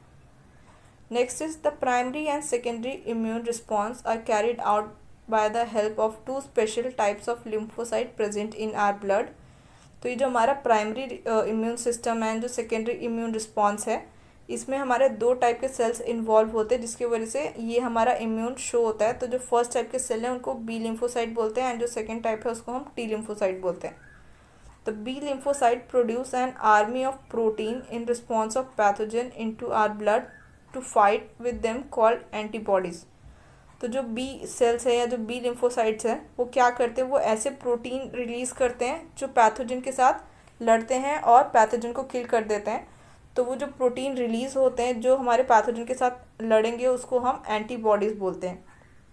T lymphocytes the T cell themself do not produce antibodies but help B cell to produce them तो जो टी लिम्फोसाइट है, ये खुद से तो कोई एंटीबॉडीज़ या वैसा कोई प्रोटीन सिक्रीट नहीं कर रहा है बट ये हेल्प करता है हमारे बी सेल्स को, जिसके वजह से वो अच्छे से या फिर ज़्यादा अमाउंट में एंटीबॉडीज़ को फॉर्म कर पाते हैं। The next structure of antibody each antibody molecule has four peptide chain two long chain and two short chain arrange in Y shaped तो जो एंटीबॉडी है, ये क्या एक वाई टाइप का स्ट्रक्चर होता है और इस वाई टाइप के स्ट्रक्चर में क्या होता है? हमारे पास फोर पेप्टाइड की चेन होती है, दो लॉन्ग होती हैं एंड दो शॉर्ट होती हैं। ये एक दूसरे से कनेक्टेड नहीं है, यहाँ पे ऐसा थोड़ा सा डायग्राम इसका डायग्राम है, मैं वहाँ पे आपको अच्छे से एक्सप्लेन करती हूँ। The two long chains are called heavy chain and two short chain are called light chain hence the antibody is represented as H two L two तो ये फॉर्मूला है जिससे हम एंटीबॉडी को शो करते हैं एच टू एल टू से। तो ये एंटीबॉडी का स्ट्रक्चर भी थोड़ा सा इंपॉर्टेंट है, इसको आपको याद रखना है। डिज़ीज़ के बाद जो सेकेंड मोस्ट इंपॉर्टेंट है, वो ये है structure of antibody antibodies are also called immunoglobulins तो एंटीबॉडीज़ को हम इम्यूनोग्लोबुलेंस भी बोलते हैं एंड इम्यूनोग्लोबुलेंस जो है, ये हमारी बॉडी में फाइव टाइप्स के होते हैं। देन ये है, यहाँ पे स्ट्रक्चर है एंटीबॉडी का। ये देखोगे, यहाँ पे ये हमारे लाइट चेन है एंड ये दो हमारे हैवी चेन है। इसलिए इसका formula H two L two होता है। और ये जो एंटीबॉडीज़ हैं, ये हमारी बॉडी में फाइव टाइप के सीक्रीट होती है बट आपके एन में फोर टाइप्स के ही दिए हुए थे, इसलिए मैंने यहाँ पर फोर ही मैंशन किया है। I G A I G M I G E and I G G types of immunity based on the type of immune cell acting against the antigen, immunity can be classified into two types, humoral immunity and cell mediated immunity. तो जो immunity है, उसमें कौन से type के sales involve हैं? उस type के सेल्स को लेके हम इम्यूनिटी को दो टाइप में डिवाइड करते हैं। तो एक है ह्यूमोरल एंड एक है cell mediated the immunity which is mediated by antibodies produced by B lymphocyte is called humoral immunity तो ऐसी इम्यूनिटी जिसमें हमारे एंटीबॉडीज़ प्रोड्यूस हो रहे हैं, और एंटीबॉडीज़ कहाँ से प्रोड्यूस होते हैं? बी सेल से। तो ऐसी इम्यूनिटी जिसमें हमारे B cells and antibody involve हो, उस टाइप की इम्यूनिटी को हम ह्यूमोरल इम्यूनिटी बोलते हैं। एंड सेल मीडिएटेड में क्या है? Immunity which is mediated by T lymphocytes by directly attaching them self to antigen is called cell mediated immunity तो सेल मीडिएटेड में क्या है? पहले तो हमने देखा था कि जो टी सेल्स है, ये हेल्प कर रहा है बी सेल को सिक्रीट करने में। उसके अलावा भी इसका एक और काम है। जो टी लिम्फोसाइट्स है कभी कभी ये क्या करता है? जो एंटीजन या जो पैथोजन है डायरेक्टली उसके ऊपर जाके बाइंड कर देता है। और उस तरीके का जो ये जब डायरेक्टली बैंड बाइंड कर जाता है एंटीजन या पैथोजन के ऊपर तो उसके वजह से भी हमारा इम्यूनिटी जो रिस्पॉन्स है वो इंक्रीज हो जाता है। और उस टाइप की इम्यूनिटी को जहाँ पे हमारा टी लिम्फोसाइट डायरेक्टली एंटीजन के ऊपर बाइंड करता है, उस टाइप की इम्यूनिटी को हम सेल मीडिएटेड इम्यूनिटी बोलते हैं।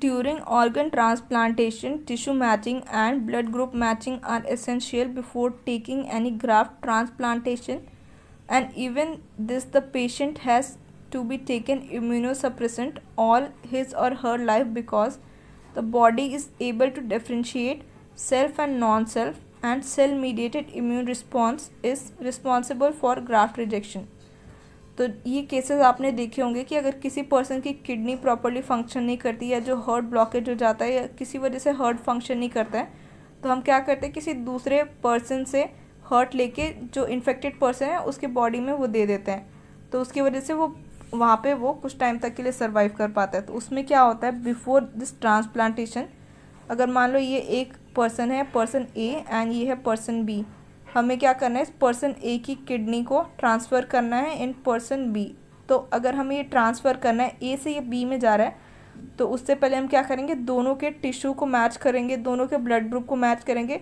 अगर ये कॉम्पैटिबल है, तभी हम इस ट्रांसपोर्ट को या ट्रांसप्लांटेशन को करते हैं अदरवाइज़ हम ये नहीं करते। अब मान लो ठीक है, ये ए एंड बी की किडनी एक दूसरे से कंपैटिबल है, इनके टिश्यू जो हैं, वो ऑलमोस्ट सिमिलर हैं। हंड्रेड परसेंट तो ये सिमिलर कभी भी नहीं होंगे, सिर्फ़ जो होमोजाइगस ट्विंस होते हैं, सिर्फ़ उन्हीं के केस में ये एक दूसरे के कंपैटिबल होते हैं या एक दूसरे से सेम होते हैं। अदरवाइज़ ये कोई भी केस हो, वहाँ पे हमारे जो टिश्यू हैं, वो एक दूसरे से डिफरेंट ही होंगे। तो हम ये देखते हैं कि कितना डिग्री ऑफ़ सिमिलैरिटी है या फिर कितना कम दोनों के सेल्स में डिफरेंस है। तो ठीक है, हमने देखा कि ये जो ए एंड बी हैं, इनके सेल्स ज़्यादा डिफरेंट नहीं है। अगर हमने ऐसा ट्रांसप्लांट किया तो हो सकता है ये पर्सन जो बी है, उसकी किडनी वर्क करेगी उसके अंदर जाके। तो हमने सब चेक कर लिया, उसके बाद हमने ए की किडनी लेके बी में डाल दी। तो अब ये जो बी है, इसने किडनी ले ली। लेकिन किडनी लेने के बाद भी उसको बहुत सारे ऐसी दवाइयाँ खानी पड़ती है, जिसकी वजह से जो उसका इम्यून सिस्टम है, वो कम एक्ट करे। बिकॉज़ जो हमारे बॉडी के सेल्स हैं, उनके पास ऐसी एबिलिटी है कि जो हमारे अपने खुद के सेल्स हैं, उनको पहचान सके from the non cell cell तो नॉन सेल्फ सेल्स क्या हो गए नॉन सेल्फ सेल्स वो वाले सेल्स होंगे जो ए से इस बी के अंदर आए हैं। और सेल्फ सेल क्या होंगे? जो बी के अपने पास ऑलरेडी प्रेजेंट होंगे।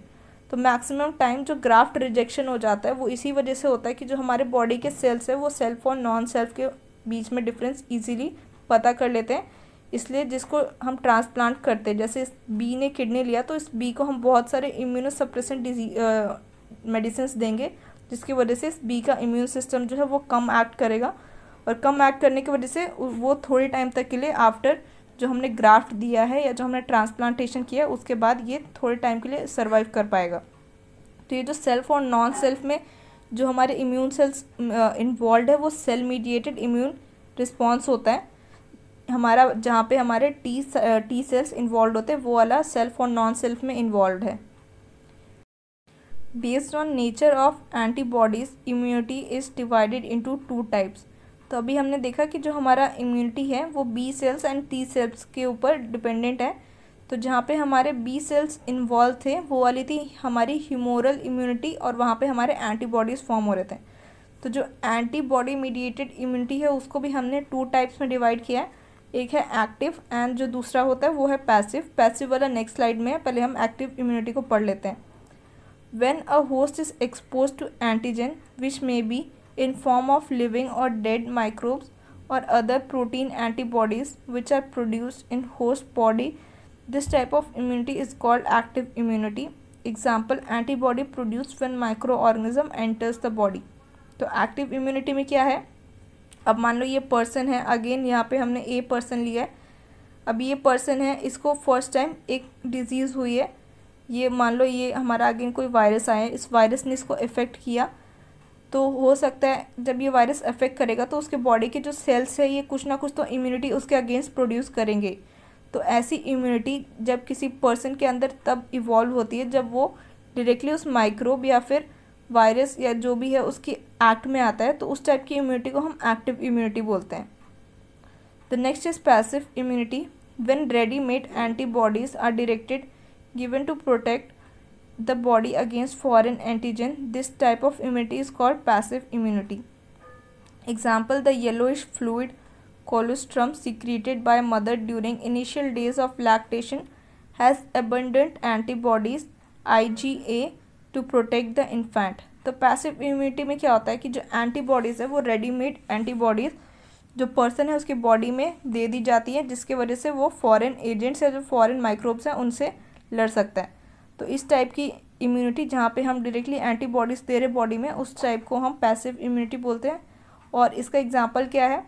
जो कोलेस्ट्रम होता है, जो मदर में इनिशियल डेज़ में प्रोड्यूस होता है, अगर वो जो इन्फेंट है या जो बेबी है, अगर उसको वो मिल्क दिया जाए तो उसकी बॉडी में एंटीबॉडीज़ आईजीए प्रोड्यूस हो जाता है। और ये जो आईजीए है, वो उसे बहुत सारे डिज़ीज़ से अगेंस्ट डिफेंस प्रोवाइड करता है। Next is vaccination and immunisation vaccination is process in of production of vaccine into the body to produce antibody against the antigen to neutralise the effect of pathogen during actual infection तो vaccination क्या होता है? Vaccination ऐसा process है जिसकी वजह से हम क्या करते हैं? किसी पर्सन की बॉडी में एंटीबॉडीज़ को डाल देते हैं। उस वैक्सीन जो हमें दी जाती है, उस वैक्सीन में ऑलरेडी एंटीबॉडीज़ होती हैं और वो एंटीबॉडीज़ जब हमारी बॉडी में जाती हैं तो अगर हमारी बॉडी में अगर पहले से वो एंटीजन प्रेजेंट है या जब वो एंटीजन अगर हमारे ऊपर एक्ट करेगा या जो वायरस जो है या जो भी पैथोजन एक्ट करेगा तो ये जो हमारी एंटीबॉडीज़ है, ये उसको किल कर देंगी और हमें डिज़ीज़ होने से स्टॉप कर देती है। देन नेक्स्ट क्या है? Vaccine are dead or weakened pathogen introduce in body तो वैक्सीन में क्या होता है कि वैक्सीन में मान लो हमारा जो भी वायरस है या जो भी पैथोजन है, उस पैथोजन का डेड या फिर वीकेंड बॉडी को हमारी बॉडी में इन वैक्सीन की फॉर्म में डाला जाता है। The dead or weakened pathogen lead to production of antibodies which neutralise the pathogen antigen during actual infection with same pathogen तो ये जो डेड या फिर वीकेंड पैथोजन हमारी बॉडी में डालता है उसकी वजह से क्या होता है, हमारी बॉडी उस वीकेंड पैथोजन के अगेंस्ट ही एंटीबॉडीज़ को फॉर्म करना स्टार्ट कर देती हैं। तो ये एंटीबॉडीज़ हमारे बॉडी में ऑलरेडी प्रेजेंट होता है तो जब एक्चुअल इन्फेक्शन होता है तो ये एंटीबॉडीज़ उस इन्फेक्शियस एजेंट के अगेंस्ट एक्ट करती हैं, फिर डिफेंस मैकेनिज्म हमारी बॉडी को प्रोवाइड करती हैं, जिसकी वजह से हमें वो डिज़ीज़ फिर नहीं होती है। Immunisation is the process where pre form antibodies against the toxin are produce in the body तो इम्यूनाइजेशन में क्या हो रहा है कि यहाँ पे हमारी बॉडी में एंटीबॉडीज़ ऑलरेडी डाल दी जाती है अगेंस्ट द टॉक्सिन तो इस बार हम टॉक्सिन के अगेंस्ट एंटीबॉडीज डाल रहे हैं। इन वैक्सीनेशन हम किसी एक वायरस या फिर एक पैथोजन के अगेंस्ट हम अपने बॉडी में एंटीबॉडीज़ ले रहे थे। इस बार हम एक टॉक्सिन के अगेंस्ट ले रहे हैं। Example pre formed antibody injection against snake venom तो जो स्नेक वेनम होता है, उसके अगेंस्ट बहुत सारी एंटीबॉडीज़ फॉर्म की गई हुई हैं और उसको हम अपनी बॉडी में इन केस एस इम्यूनाइजेशन की तरह ले सकते हैं। Using recombinant DNA technology antigenic peptide of pathogen in bacteria or yeast example hepatitis B vaccine is produced from yeast तो जो रिकॉम्बिनेट डीएनए टेक्नोलॉजी है, उसकी वजह से हम क्या करते हैं कि ये जो एंटीबॉडी होती है, उसको हम एक ईस्ट में या फिर एक बैक्टीरिया के अंदर डेवलप करवाते हैं। और फिर जब ये डेवलप हो जाती है तो हम इम्यूनाइजेशन के फॉर्म में एक जो हेल्दी पर्सन है, उसके बॉडी में डाल देते हैं और वहाँ पे इम्यून रिस्पॉन्स जो है, वो स्टार्ट हो जाता है।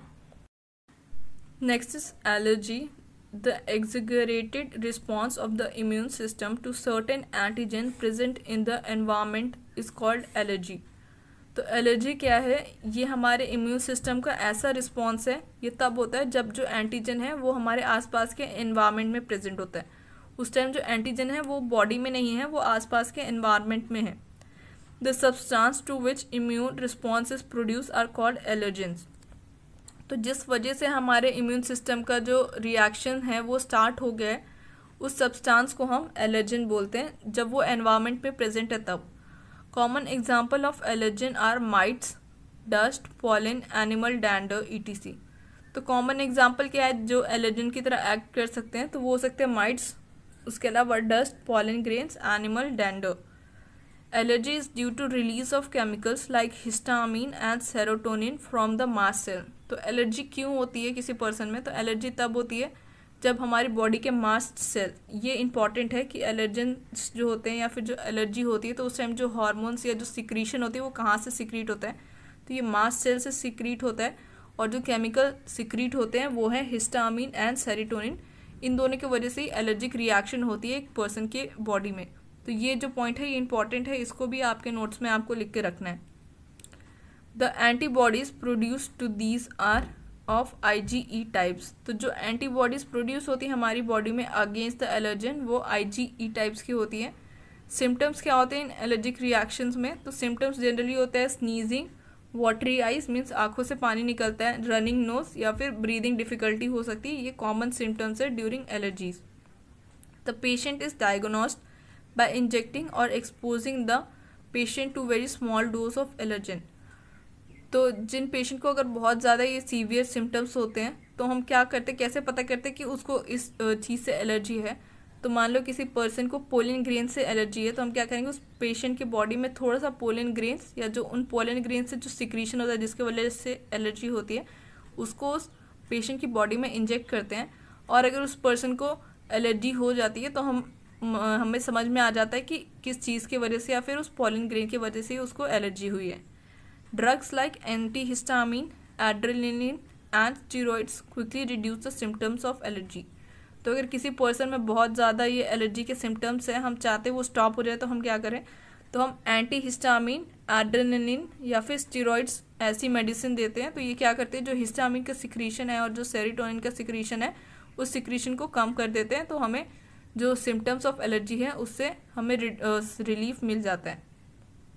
Next is autoimmunity the immune system of the body can is able to identify the differentiate between self and non self due to genetic and other unknown reason the body attacks self cell which result in damage of body and called as autoimmune disease तो जो हमारी body के sales हैं, हमने देखा था अभी जहाँ पे ग्राफ्ट के बारे में पढ़ा था, ये जो ट्रांसप्लांटेशन का तो वहाँ पे हमने देखा कि जो हमारे बॉडी के सेल्स हैं, वो अपने बॉडी के सेल्स और दूसरे बॉडी के सेल्स को ईजिली डिफ्रेंशिएट कर सकते हैं।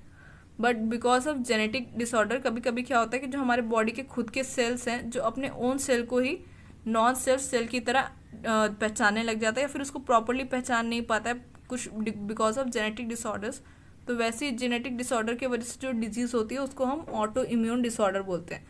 यानी जो रिमिटॉइड अर्थराइटिस है, ये एक टाइप का ऑटो इम्यून डिसऑर्डर है। तो ये रिमोटाइड अर्थराइटिस जो है, ये भी इंपॉर्टेंट पॉइंट है। इसको भी आप याद करके रख लेना या आपके नोट्स में लिख लेना।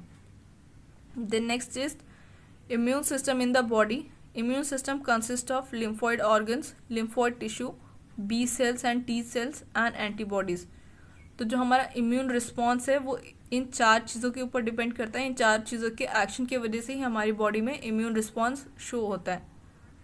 Lymphoid organs the organs where origin and oblique और the maturation and proliferation of lymphocytes occur are called lymphoid organs तो लिम्फॉइड ऑर्गन्स क्या है? लिम्फॉइड ऑर्गन्स वैसे ऑर्गन्स है जहाँ पे हमारे सेल का मैचुरेशन या प्रोलिफरेशन होता है। उस टाइप के ऑर्गन्स को हम लिम्फॉइड ऑर्गन्स बोलते हैं। Lymphoid organs are of two type primary lymphoid organ and secondary lymphoid organ तो जो हमारे लिम्फॉइड ऑर्गन है जहाँ पे हमारी मैचुरेशन या फिर ओरिजिन हो रहा है सेल्स का, वो दो टाइप के हैं, एक है प्राइमरी एंड एक है secondary the primary lymphoid organ are bone marrow and thymus where immature lymphocyte differentiate into antigen sensitive lymphocytes तो जो प्राइमरी लिम्फोइड ऑर्गन है, वो क्या है? हमारे प्राइमरी लिम्फोइड ऑर्गन जो है, वो दो हैं, एक है बोन मैरो एंड एक है थाइमस ये इंपॉर्टेंट है प्राइमरी जो ऑर्गन्स है, ये इंपॉर्टेंट है, ये पूछा जा सकता है। इसको आप लिख लेना कि जो प्राइमरी लिम्फोइड ऑर्गन है, वो कौन कौन से हैं? तो प्राइमरी लिम्फोइड ऑर्गन है बोन मैरो एंड थाइमस तो बोन मैरो एंड थाइमस में क्या होता है? यहाँ पे हमारे जो इमेच्योर लिम्फोइड सेल सेल जिनको हम लिम्फोसाइट बोलते हैं, वो डिफ्रेंशिएट होते हैं और वो एंटीजन सेंसिटिव लिम्फोसाइट में चेंज होते हैं. The bone marrow is main lymphoid organ where blood cells including lymphocytes are produce तो ये सेल्स कहाँ प्रोड्यूस हो रहे हैं? जो हमारे लिम्फोसाइट है, एक तो ये बोन मैरो में और थाइमस में होते तो थाइमस में ये क्या करते हैं? थाइमस में ये sensitive towards the एंथोज towards the antigen में होते हैं और बोन मैरो में ये प्रोड्यूस होते हैं। तो बोन मैरो में हमारे ब्लड सेल्स और लिम्फोसाइट्स प्रोड्यूस होते हैं। The thymus is lobed organ near the heart and beneath the breast bone तो थाइमस कहाँ प्रेजेंट होता है? थाइमस हर्ट के पास और जो ब्रेस्ट बोन होती है, जो हमारी रिब्स की जो एक जो बीच में होती है, यहाँ पे हमारे रिब्स होते हैं। और यहाँ पे एक बीच में जो बोन होती है, जिसको स्टर्नम बोलते हैं, उसी को ब्रेस्ट बोन भी बोलते हैं। तो इस ब्रेस्ट बोन के नीचे हमारा थाइमस प्रेजेंट होता है। Spleen tonsils lymph node Peyer's patches or small intestine and appendix are secondary lymphoid organ where proliferation of lymphocyte takes place तो ये जो स्प्लीन है या जितने भी ऑर्गन्स लिखे हैं यहाँ पे tonsils lymph node Peyer patches ये सब हमारे सेकेंडरी लिम्फॉइड ऑर्गन है। यहाँ पे प्रोलिफरेशन ऑफ़ लिम्फोसाइड होती है। तो जो हमारा लिम्फोसाइट है, वो बना कहाँ? वो बोन मैरो में फॉर्म होता है या थाइमस में फॉर्म होता है।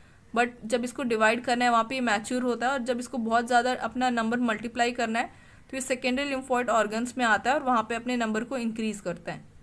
The secondary lymphoid organs provide the site for interaction of lymphocyte with the antigen which then proliferate to become effector cell तो सेकेंडरी लिम्फॉइड ऑर्गन में क्या होता है? जब ये प्राइमरी लिम्फोसाइट्स आते हैं तो इन, ये जो लिम्फोसाइट्स है, यहाँ पे इंटरैक्ट करते हैं एंटीजन के साथ और एंटीजन के साथ जब ये एक्ट करते हैं, तभी ये इफेक्टर सेल में कन्वर्ट होते हैं the spleen is large bean shaped organ mainly contains lymphocyte and phagocytes which act as filter of blood by trapping blood-borne microorganism and has large reservoir of erythrocytes.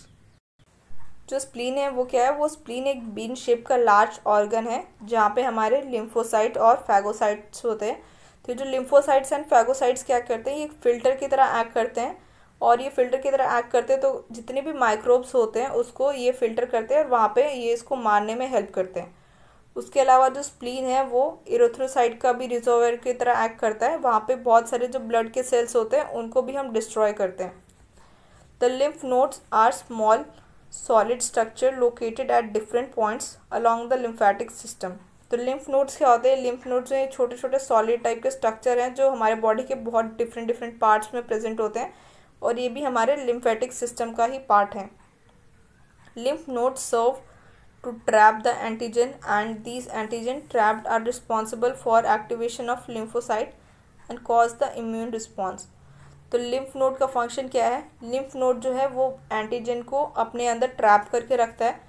और जब वो antigen को trap करके रखता है तो उसके वजह से जो हमारे लिम्फोसाइट्स हैं, वो एक्टिवेट हो जाते हैं एंड हमारा इम्यून रिस्पॉन्स जो है, वो स्टार्ट हो जाता है।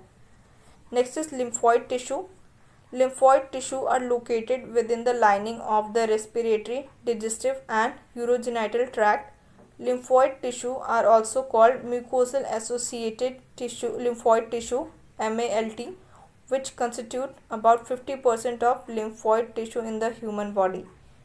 तो जो लिम्फॉइड टिश्यू है, ये हमारे बॉडी के respiratory digestive and urogenital tract में प्रेजेंट होता है। और लिम्फॉइड टिश्यू को हम म्यूकोजल एसोसिएटेड लिम्फॉइड टिश्यू या फिर MALT से भी हम जानते हैं और ये fifty percent of lymphoid tissue होता है in the body the next disease है, ये है AIDS the term AIDS stand for acquired deficiency syndrome. तो ये फुल फॉर्म बहुत बार पूछा गया, अगेन पूछा जाएगा या नहीं, पता नहीं, बट एक बार आप इसको देख लेना या देखना भी गया तो मुझे लगता है सबको याद ही होगा। The disease is acquired during life time AIDS is cause by H I V human immunodeficiency virus तो ये जो डिज़ीज़ है, ये इनबॉर्न भी हो सकती है मीन्स जब से बर्थ हुआ है, तब से भी हो सकता है और किसी पर्सन को उसकी लाइफ में, बीच में कभी भी हो सकता है। और ये किसकी वजह से हो रहा है? तो ये वायरस के वजह से हो रहा है। वायरस का क्या नाम है? Human immuno deficiency virus H I V is retro virus having R N as genetic material तो एच आई वी का जो डी एन ए है या जो सॉरी डी एन ए जो एच आई वी का जो जेनेटिक मटीरियल है, वो होता है R N A mode of transmission means ये एक नॉन इन्फेक्टेड पर्सन को कैसे हो सकता है? From an infected person sexual contact with infected person blood by transfusion of contaminated blood and blood product by sharing infected needles as the case of intravenous drug abuser from infected mother to her child through placenta. तो अगर एक non infected और infected person के बीच में sexual contact होता है, तब चांस है कि जो नॉन इन्फेक्टेड पर्सन है, उसको एच हो जाए। देन नेक्स्ट क्या है? नेक्स्ट है कि अगर हम ऐसा ब्लड ट्रांसफ्यूशन कर रहे हैं, जहाँ पे एक पर्सन जो है नॉन इन्फेक्टेड है और एक इन्फेक्टेड है तो जो नॉन इन्फेक्टेड है, उस टाइम पे वो एड्स कॉज कर सकता है। उसके अलावा जो सिरिंज होती है या जो चीज़ें यूज़ की जाती है ड्यूरिंग ट्रांसफ्यूजन जो वहाँ पे पाइप्स होती हैं या जो सिरिंजेस वगैरह डालते हैं, अगर वो एक किसी इन्फेक्टेड पर्सन से ली गई हैं, जो पहले इन्फेक्टेड पर्सन को यूज़ किया देन एक नॉन इन्फेक्टेड पर्सन को यूज़ कर दिया गया वही सेम चीज़ें तो भी हो सकता है। देन थर्ड पॉइंट भी उसका एक एक्सटेंडेड पॉइंट है सेकेंड पॉइंट का। कि जो ड्रग एब्यूज़र होते हैं तो जो ड्रग एब्यूज़ करते हैं, वो इंट्रावेनस ड्रग होता है। जो वेन्स होती है हमारे बॉडी की, उस वेन्स में दिया जाता है। तो वैसी नीडल भी अगर दो पर्सन सेम नीडल शेयर कर रहे हैं, तब भी हो सकता है। या अगर एक मदर है, जिसको ऑलरेडी एड्स था तो जो उससे जो चाइल्ड बॉर्न होगा, उस चाइल्ड में प्लेसेंटा के थ्रू भी ये डिज़ीज़ हो सकता है। देन नेक्स्ट जो है, वो life cycle of H I V after getting into body the virus enters into macrophages और T helper cell the viral RNA genome replicate to form viral DNA with enzyme called reverse transcriptase. तो जो ये body में enter करता है, जब virus तो ये कहाँ जाता है? ये मैक्रोफेजस या फिर टी हेल्पर सेल के पास जाता है। और क्या करता है कि जो वायरल जिनोम है, अपने वायरल जिनोम को रेप्लिकेट करना स्टार्ट कर देता है। तो ये कैसे रेप्लिकेट करता है? ये एक एंजाइम रिवर्स ट्रांसक्रिप्टेस इसकी हेल्प से अपने जीनोम को उस ह्यूमन के अंदर रेप्लिकेट करना स्टार्ट कर देता है। तो ये जो एंजाइम है रिवर्स ट्रांसक्रिप्टेस ये भी इंपॉर्टेंट है। ये आपके नोट्स में आप लिख के रख लेना। The viral D N A gets incorporated into the host cells D N A and directs the infected cells to produce virus particle and the macrophage continue to produce viruses तो अब जो ये वायरल डीएनए था, ये जो host का DNA था, मान लो ये हमारे पास होस्ट का डीएनए है एंड जो ये, मैं एक मिनट पेन चेंज करके, ये जो ब्लू वाला है ये हमारा वायरल डीएनए तो क्या क्या वायरस ने होस्ट के डीएनए के साथ ही अपने डीएनए को जोड़ दिया? अब जो डीएनए फॉर्म होगा इसके वजह से, वहाँ पे तो इस वायरस का भी जेनेटिक मटेरियल है। तो इस वायरस का जेनेटिक मटेरियल की वजह से जो अब न्यू प्रोटीन्स फॉर्म होंगे, वो वायरस के रिलेटेड फॉर्म होंगे। मीन्स वायरस ऐसे प्रोटीन फॉर्म करेगा जिसकी वजह से वो अपने नंबर को बढ़ा रहा है। तो वायरस क्या करेगा? वैसी प्रोटीन्स या वैसा कोड फॉर्म करेगा जिसकी वजह से वो अपने नंबर को बढ़ाएगा। Virus released from macrophage attack T helper cell and cause the progressive reduction in T helper cells and due to which person starts suffering from infection and several other microbes.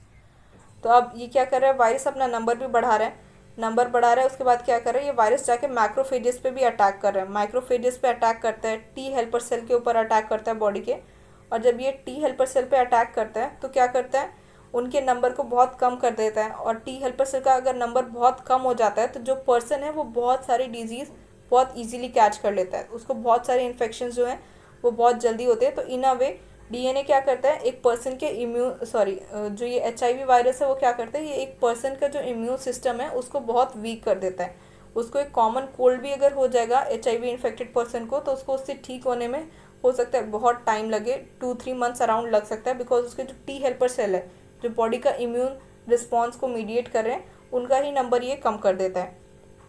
Diagnose by ELISA enzyme link immunosorbent ऐसे तो ये important point है। ये हो सकता है पूछ लिया जाए कि डायग्नोस्टिक टेस्ट क्या है फॉर एचआईवी या फिर एड्स तो वो है ELISA treated with anti retroviral drugs but that is only partially effective तो जो पर्सन है जिनको एड्स हो जाता है, उनको हम anti viral anti retroviral drugs देते हैं बट ये पार्शली इफ़ेक्टिव है मीन्स ये उस पर्सन को पूरा क्योर नहीं कर पाते हैं या फिर हंड्रेड परसेंट क्योर नहीं कर पाते हैं, कुछ परसेंट तक उनकी जो डिज़ीज़ है वो क्योर हो पाती है। Then prevention of AIDS to follow safe blood transfusion to use disposable needles distribute free condoms to prevent drug abuse तो एड्स को प्रिवेंशन के मेथड्स है कि हमें जब ट्रांसफ्यूजन करें तो ट्रांसफ्यूजन ब्लड ट्रांसफ्यूजन है, वो प्रॉपरली किया जाए। वहाँ पे जो सिरेंज वगैरह यूज़ की जाती है, वो सब ठीक हो।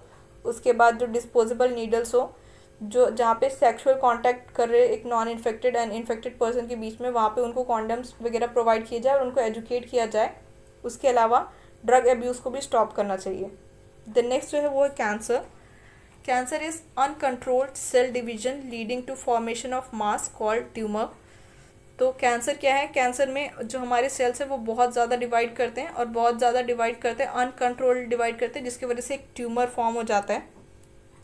The contact inhibition is the property of normal cell by virtue of which contact with other cells inhibit their uncontrolled growth तो जो हमारे कैंसरस सेल होते हैं, उनके पास एक प्रॉपर्टी होती है कॉन्टैक्ट इनहिबिशन की।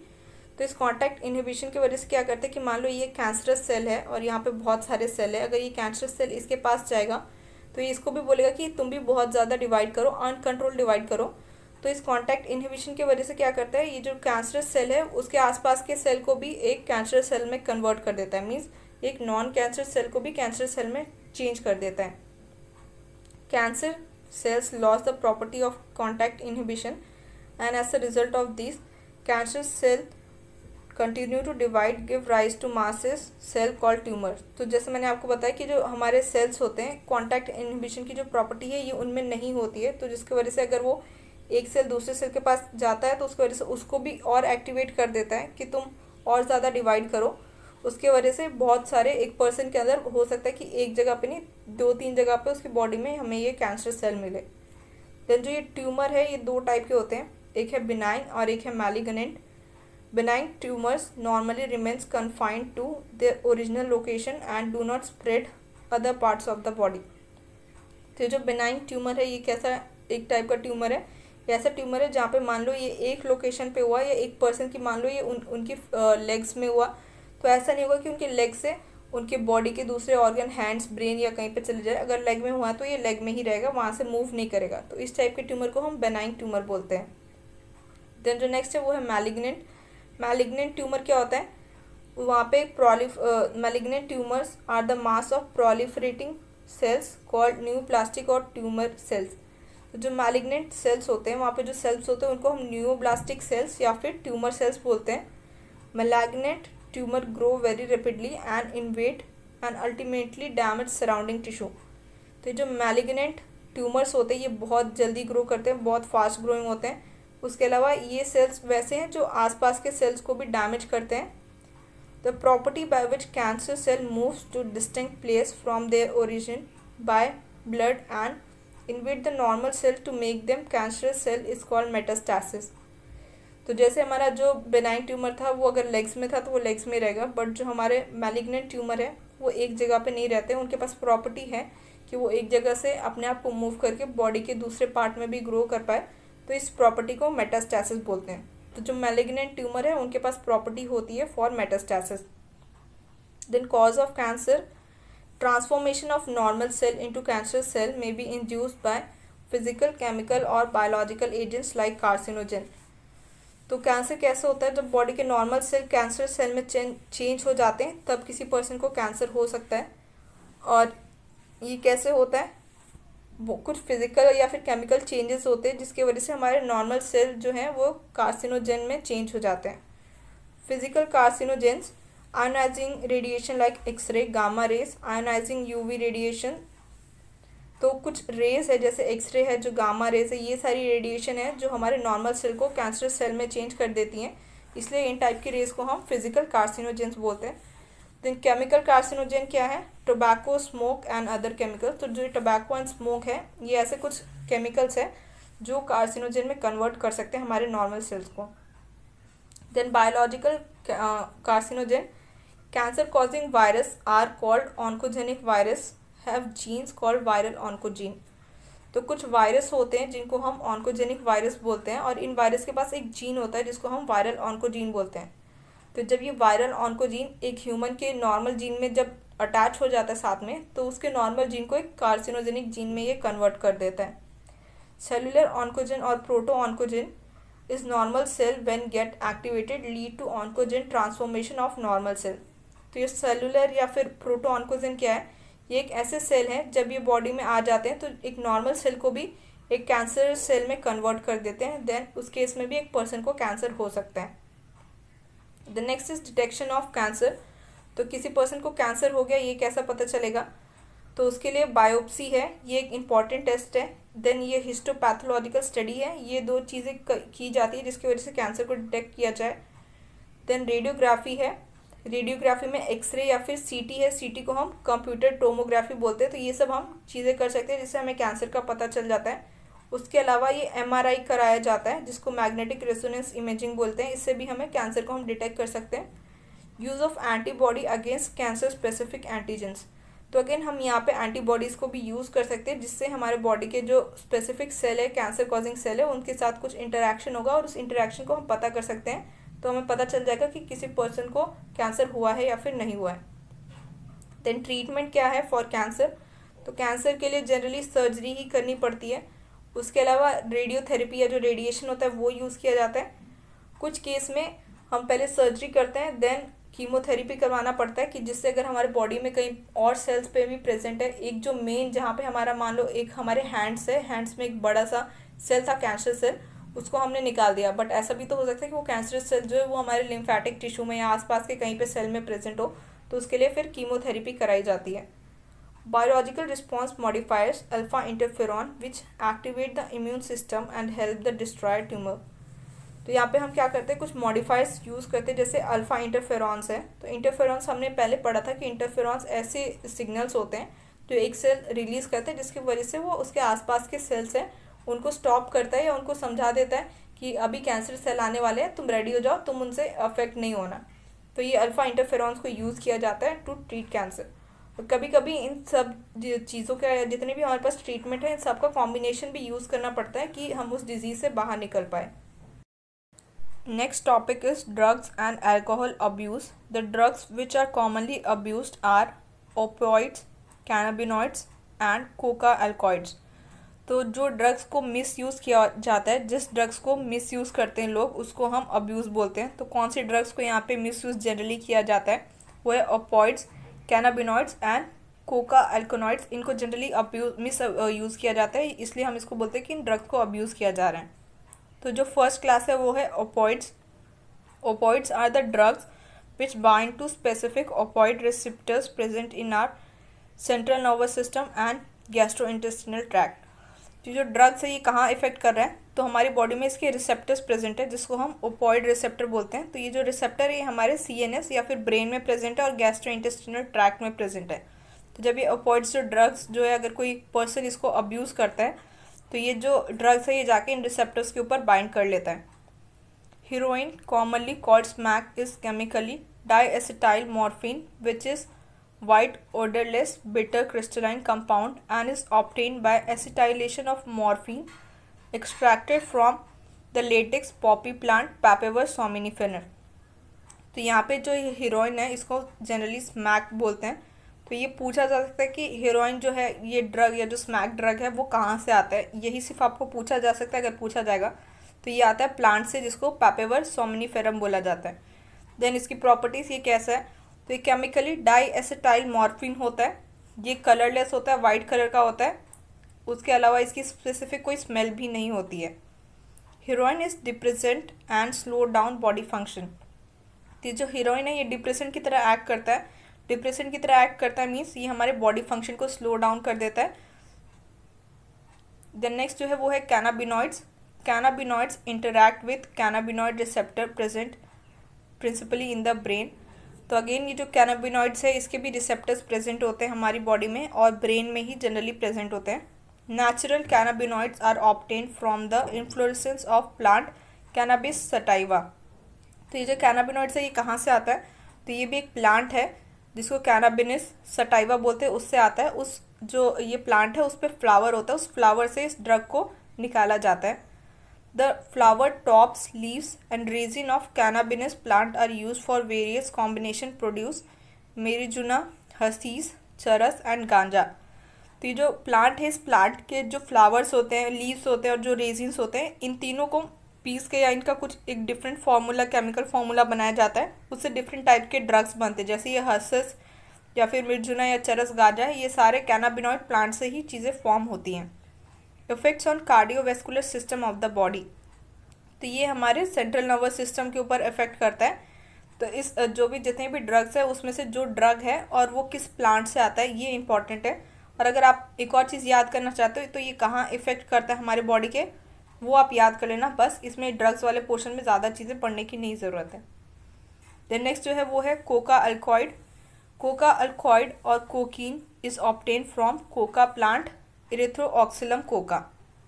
जो कोका अल्कॉइड है, ये इरेथ्रोऑक्सिलम कोका से निकलता है। उस प्लांट से हम इसको ऑप्टेन करते हैं। Coca alkaloid interferes the transport of neurotransmitter dopamine तो ये भी अगेन हमारे ब्रेन के ऊपर ही अफेक्ट करता है। तो ये न्यूरो के ऊपर एक्ट करता है। और जो डोपा अमीन है, उसकी सिक्रीशन को अफेक्ट करता है। Cocaine commonly called as coke और क्रैक तो ये जो कोकिन है, इसका जनरल नेम जो मार्केट में अगर ऐसी जो लोग बोल के बेचते हैं, उसको कोक या फिर क्रैक नाम से बेचते हैं। It is potent stimulating action of central nervous system producing sense of euphoria and increase energy तो ये कहाँ एक्ट कर रहा है हमारे ब्रेन पे? ये सेंट्रल नर्वस सिस्टम पे एक्ट करता है और ये एक ऐसा सेंस उस पर्सन में क्रिएट करता है जिससे अगर ये पर्सन किसी ने कंज्यूम किया है, ये ड्रग को कोकाल्कॉइड को तो उसको लगता है वो बहुत खुश है या फिर उसके अंदर बहुत ज़्यादा एनर्जी है इस ड्रग को लेने के बाद। Excessive dosage of cocaine cause hallucination तो अगर किसी पर्सन ने बहुत ज़्यादा ये ड्रग ले लिया तो उसको हॉल्सिनेशन होता है। हॉल्सिनेशन मीन्स जैसे हम बोलते हैं ना कि किसी ने ड्रग ले लिया तो उसको अगर एक गाड़ी आती है तो भी उसको चार दिखती है। तो ऐसी चीज़ों को हॉल्सिनेशन बोला जाता है।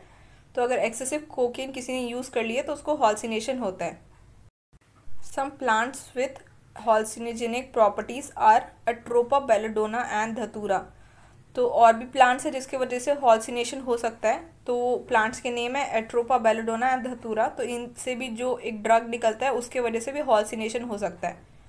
Drugs like barbiturates amphetamines benzodiazepines lysergic acid dimethyl amide L are used as medicine to patient cope with mental illness and depression and insomnia are ऑफेंट abuse तो ये जो ड्रग्स है, जैसे बारबिटूरेट्स है, जो एम्फिटामाइंस है, ये जनरली पेशेंट्स को दिया जाता है जिनको मेंटल इलनेस हो तो डिप्रेशन है या जो ठीक से सो नहीं पाते इंसोमनिया वो डिज़ीज़ होती है जिसमें लोगों को प्रॉपरली नींद नहीं आती है।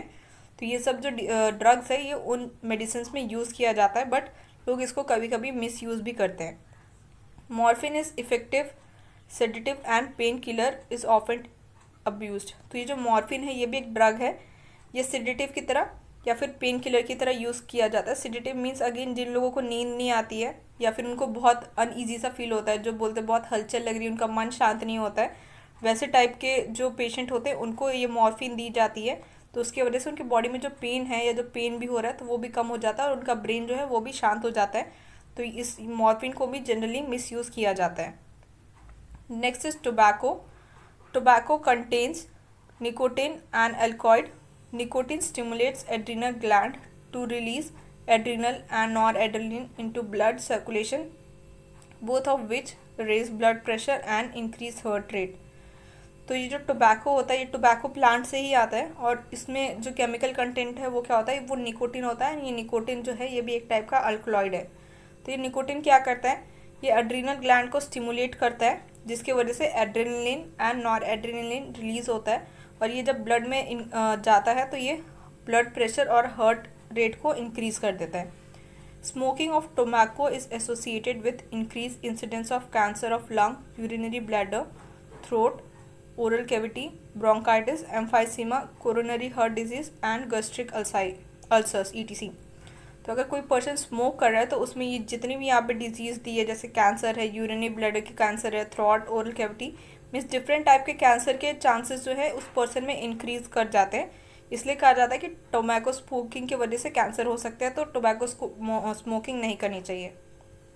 Then next is addiction and dependence addiction is physiological attachment to certain effects such as euphoria and is associated temporary feeling of well being associated with drug and alcohol तो एडिक्शन क्या है? Addiction एक ऐसा psychological attachment होता है उस drug के साथ, जिसकी वजह से आपको टेम्प्रेरी जब उस ड्रग को लेते हो तो लगता है कि उस पर्सन को बहुत अच्छा लग रहा है, उसमें बहुत एनर्जी है और अगर वो उस ड्रग को नहीं लेता है तो उसको लगता है कि उसके बॉडी में कोई जान नहीं है, वो मर जाएगा। With repeated use of drugs the tolerance level of the receptor present in body increases and consequently the receptor respond only to higher dose of drug और alcohol leading to greater intake and addiction तो जैसे हमारे जो भी drugs थे हमने देखा उनके रिसेप्टर्स हमारी बॉडी में ऑलरेडी प्रेजेंट थे, जैसे ओपॉइड रिसेप्टर्स थे। तो हमारी बॉडी के जो रिसेप्टर्स है, उनको तो आदत नहीं है इस ड्रग को लेने की। अब किसी पर्सन ने लेना स्टार्ट किया तो उसके ड्रग्स को उसके बॉडी के रिसेप्टर्स को पता चल गया कि ठीक है, ये मिल सकता है। तो अगर वो पहले वन एम जी लेता था या वन ग्राम लेता था तो उसकी बॉडी को तब अच्छा फील होता था या उसको, ये जो यू फोर यूफोरबिया है, जिसकी वजह से उसको बहुत अच्छा या हाई एनर्जेटिक फील होता था, अब वो नहीं होगा। वो धीरे धीरे सेल्स जो है बोलेंगे कि और दो, हमें वन एम जी से नहीं, अब हमें फोर एम जी चाहिए या फिर सिक्स एम जी चाहिए तो वैसे धीरे धीरे जो वो ड्रग्स जो है, वो जो लेवल है, वो इंक्रीज होते जाता है। और उस इंक्रीज होने की वजह से ही पर्सन में एडिक्शन हो जाता है। Then dependence is tendency of body to manifest a characteristic and unpleasant withdrawal symptom of regular dose of drug alcohol is abruptly discontinued. तो डिपेंडेंस क्या है? डिपेंडेंस एक बॉडी की ऐसी टेंडेंसी है या ऐसा कैरेक्टरिस्टिक्स है, अगर मान लो जो पर्सन बहुत टाइम से ड्रग ले रहा है, अगर वो उस ड्रग को छोड़ना चाहता है तो उसके बॉडी में कुछ ऐसे विड्रॉल सिम्टम्स होते हैं, जिसकी वजह से उस पर्सन को अच्छा नहीं लगता है, वो उस ड्रग के बिना रह ही नहीं पाता है। तो ये विड्रॉल सिम्टम्स में क्या क्या होता है? विड्रॉल सिम्टम्स में उस पर्सन को एनजाइटी हो सकती है शेकीनेस नोजिया या स्वेटिंग ये सब सिम्टम्स है अगर कोई पर्सन एकदम से उस ड्रग को छोड़ना चाहे तो। इसलिए एक बार ड्रग तो कोई भी पर्सन ईजिली ले सकता है बट उसको छोड़ना उस पर्सन के लिए बहुत ज़्यादा ही डिफ़िकल्ट हो जाता है। Effects prevention and control of drug oblique alcohol abuse immediate effects और are reckless behaviour vandalism and violence तो जो भी अब हमारे अगर कोई पर्सन बहुत ज़्यादा अल्कोहल अब्यूज़ कर रहा है या ड्रग अब्यूज़ कर रहा है तो हमें क्या क्या मेथड्स यूज़ करने चाहिए जिसके वजह से उसको हम प्रिवेंट कर पाए, वो पर्सन ज़्यादा ड्रग्स को यूज़ ना करे। तो ये जो ड्रग्स जो हैं, ये जनरली मार्केट में जो अवेलेबल है, उनका अवेलेबिलिटी को स्टॉप करना पड़ेगा। जो फ़र्स्ट पॉइंट है, वो यही है। Excessive dose of drug may lead to coma and death failure to respiratory failure heart failure and cerebral haemorrhage तो अगर किसी पर्सन ने जो ड्रग है, उसको बहुत ज़्यादा ले लिया ओवर ड्रग ले लिया तो क्या क्या हो सकता है? वो पर्सन कोमा में जा सकता है, उसकी डेथ हो सकती है। रेस्पिरेटरी फेलियर हो सकता है हार्ट फेलियर या फिर ब्लड जो हम हीमोरेज बोलते हैं, जो ब्रेन ब्रेन में जो ब्लड क्लॉट फॉर्म होने लगता है या जो ब्रेन में बहुत ज़्यादा ब्लड फ्लो करता है रिलीज़ होता है, वो सब हो सकता है। Those who take drugs intravenously can get infected with AIDS and hepatitis B अब जो लोग ड्रग्स इंट्रावेनसली लेते हैं इंजेक्शन या सिरिंज के फॉर्म में लेते हैं, उनको एड्स या फिर हेपेटाइटिस बी भी होने के चांसेस बहुत ज़्यादा होते हैं। Chronic use of drug and alcohol damages nervous system and causes liver sclerosis जो लोग ड्रग्स बहुत ज़्यादा यूज़ करते हैं या जो अल्कोहल बहुत कंज्यूम करते हैं, उनके बॉडी में जो नर्वस सिस्टम है, वो प्रॉपरली फ़ंक्शन नहीं करता है। उसके अलावा उनके लिवर के ऊपर भी बहुत गंदा इफ़ेक्ट पड़ता है। उस कंडीशन को हम लिवर स्क्लेरोसिस बोलते हैं। The use of drug and alcohol during pregnancy is also known to adversely affect the fetus. अगर कोई फीमेल है, अगर वो प्रेग्नेंट है, उस टाइम पे ड्रग या फिर अल्कोहल कंज्यूम करती है तो उनकी बॉडी के ऊपर तो कुछ हार्मफुल इफेक्ट्स होंगे ही। उसके अलावा जो ग्रोइंग फीटस है, उसके ऊपर भी बहुत हार्मफुल इफेक्ट्स होते हैं। Use of anabolic steroids in female can cause masculinisation increase aggressiveness mood swings depression abnormal menstrual cycle excessive hair growth on face and body enlargement of clitoris deepening of voice तो अगर कोई female एनाबोलॉइक steroids use करती हैं या ऐसे drugs use करती है जो उन्हें नहीं करने चाहिए तो उनकी बॉडी में जो मेल कैरेक्टर्स है वो ज़्यादा डेवलप हो सकते हैं।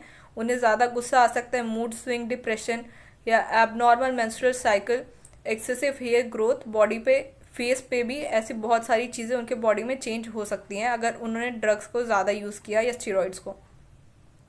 In males anabolic steroids can cause acne increase aggressiveness mood swings depression reduction in size of testicle decrease sperm production potential for kidney and liver dysfunction breast enlargement premature baldness enlargement of prostate gland तो ये बहुत सारे यहाँ पे symptoms है जो एक mail में हो सकते हैं अगर वो स्टीरोइड्स को ओवर यूज़ करे या फिर उसका अब्यूज करे तो।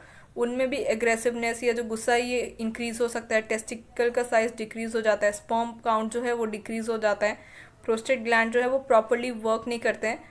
प्री मैच्योर ब्लैडनेस मीन्स उनके बाल झड़ सकते हैं, वो जिस एज में गंजा नहीं होना चाहिए, उस एज में गंजे हो जाते हैं। Then prevention and control the measure useful for prevention and control of alcohol drug abuse among adolescents avoid undue peer pressure on children तो यहाँ पे कुछ मेजर्स है जिससे हमें कंट्रोल कर सकते हैं ड्रग अब्यूज़ को। तो फ़र्स्ट जो है कि जो पीयर प्रेशर होता है, जो बच्चे होते हैं, वो बहुत सारे बच्चे अपने फ्रेंड्स के बोलने पे कि चलो एक बार ट्राई करते हैं, करके वैसे स्टार्ट कर देते हैं देन उनकी बॉडी ड्रग के ऊपर डिपेंड हो जाती है। तो जो पीयर प्रेशर है जो सिक्सटीन टू एटीन जो एडोलेसेंस एज ग्रुप में उनको पहले एजुकेट करना चाहिए। Children should be educated and counselled to bear problems and stress in life तो जो बच्चे हैं, उनको समझाना चाहिए, उनको काउंसलर से बात करवाना चाहिए कि जो उनकी लाइफ की प्रॉब्लम्स हैं, उनको उन्हें झेलने की डिपेंडेंस हो, वो ऐसा ना कि उनकी लाइफ में प्रॉब्लम है उसके लिए वो अल्कोहल या फिर ड्रग्स यूज़ करना स्टार्ट कर दे। तो उनको समझाना चाहिए कि ठीक है प्रॉब्लम्स है, आपको उनके साथ कैसे डील करना है स्ट्रेस है, उसको कैसे डील करना है, ये सब बच्चों को समझाना चाहिए। The child should seek help from parents and elder तो जो बच्चे हैं, उनको लगता है कोई प्रॉब्लम है उनकी लाइफ में वो उसको सॉल्व नहीं कर पा रहे तो उनको पेरेंट्स या फिर एल्डर से उनको भी बात करनी चाहिए। Affected individual should seek medical help of qualified psychologist psychiatrist and de addiction and rehabilitation programme अगर कोई पर्सन है जिसने ऑलरेडी ये स्टार्ट कर चुका है, जैसे ड्रग्स वगैरह लेना स्टार्ट कर दिया तो अगर उसके पेरेंट्स को या उसको समझ में आ रहा है कि ये गलत है तो उसको प्रॉपर साइकोलॉजिस्ट या साइकाट्रिस्ट से बात करना चाहिए। या फिर बहुत सारे ऐसे डी एडिक्शन कैंप भी होते हैं जहाँ पे जो ऐसे पर्सन है जो ड्रग्स को अब्यूज़ कर रहे हैं मिस यूज़ कर रहे हैं, उनको वहाँ पे ले जाके ठीक किया जाता है, उनको समझाया जाता है, जिसकी वजह से फिर वो इस ड्रग्स को छोड़ देते हैं।